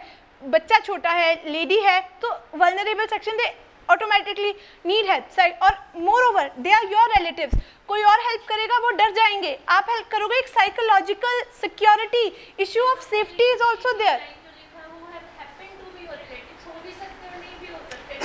who happen to be your relatives वो हैं। लिखा है ना? लिखा है, हैं। ठीक है? क्योंकि आपके रिलेटिव्स हैं तो ये चीज़ आपके समझने की है। तो psychological security then issue of safety and security ये सारी चीज़ें, फिर जितना आप करोगे वो कोई नहीं। इसलिए पहले अपने आप को ही रखो, ठीक है? वह badly injured they need immediate help what would have been done in this situation देखो, एक तो इसमें वैल्यूज़ का आ गया, ठीक है? आपकी कौन सी वैल्यूज़ है? बहुत सारी वैल्यूज़ है। वैल्यूज़ पॉजिटिव भी होती है नेगेटिव भी होती है। आपको वैल्यूज़ लेकर आनी है।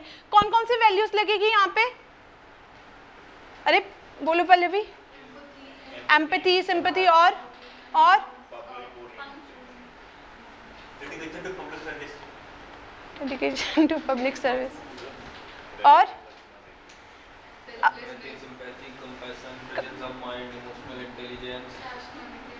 एटीट्यूड पहले तो वैल्यूज़ फिर दूसरा यहाँ पे एटीट्यूड आपका एटीट्यूड कैसा है? तीसरा पर्सनल वर्सेस मतलब self interest versus others interest ठीक है? फिर emotional intelligence and ultimately your smartness presence of mind and your management तो ये पाँच, ये आप एनालिसिस में ऊपर दोगे कि भाई ये क्वेश्चन इन सब चीज़ों का है। ये वर्ड्स आप यूज़ करोगे कि क्योंकि यहाँ पे ऐसा हुआ है तो ये चीज़ है तो ये है ऐसा। तो यहाँ पे एनालिसिस देखिए, फिर आप आप एथिकल लैंग्वेज में अपने हर पॉइंट को जस्टिफाई करोगे, ठीक है? जिन्होंने, जिनको की स्टडीज़ आती है, वो मतलब करनी इस पॉइंट ऑफ़ व्यू से। उनको ग्रास्प हो रहा होगा। जिनको नहीं आ रही, वो एक बार सुन लो, घर जाके ट्राई करके देखना, पूरा पढ़ के। आपको समझ आएगा कि नहीं, कुछ कमी है। समझ नहीं आता कि स्टडीज़ में कैसे करना है, ठीक है? तो इस तरीके से ये एथिकल पॉइंट्स तो वही है explanation matters and that also ethical explanation ठीक है? मैंने ये सोचा, इसी पे हमने वर्कआउट किया था ना, कि ऐसा करेंगे तो क्या सोच के करेंगे, है ना? So that matters the most ठीक है? एथिक्स का पेपर बहुत ही ट्रेडिशनल था। मतलब आप बेसिक टर्म्स जिसको आती है और जिसने प्रैक्टिस की हो लिखने की, उसके लिए बहुत इजी पेपर था। टाइम मैनेजमेंट हमेशा प्रॉब्लम रहती है, ठीक है? पर अगर प्रिपरेशन हो तो प्रॉब्लम नहीं रहती। मुझे फ़ोन आया था, मेरे एक स्टूडेंट का, उसका पेपर वन ग्यारह मिनट पहले ख़त्म हो गया था। उसने मैंने कहा, क्यों भाई, नहीं आता था? बोला, नहीं, बहुत अच्छे से सब लिख दिया टाइम मैनेजमेंट बहुत अच्छा रहा, आपकी बात मानी थी, ठीक है? फिर उसके बाद ऐसा भी फ़ोन आया कि टाइम मैनेज नहीं हुआ। But the thing is time manage करो, ठीक है? प्रिपरेशन कहाँ से करनी है? बहुत लिमिटेड चीज़ें हैं। सिलेबस उठाओ। किसी की बातों में मत लगो, ठीक है? कोई बोलता है, इतना हो गया, उतना हो गया। खुद कर सकते हो आप, ठीक है? बस गाइडेंस पता होना चाहिए कहाँ से क्या करना है, ठीक है? जब वो गाइडेंस लेने जाओ, पढ़ने किसी के पास मत जाओ। पढ़ के तो खुद ही आता है, ठीक है? रट्टे तो कौन रटवा सकता है यार? लर्न तो खुद ही करोगे ना, ठीक है? तो द थिंग इज़ इन चार पेपर से हमने ये सीखा जितना मर्ज़ी अनप्रडिक्टेबल हो पेपर अच्छा हो सकता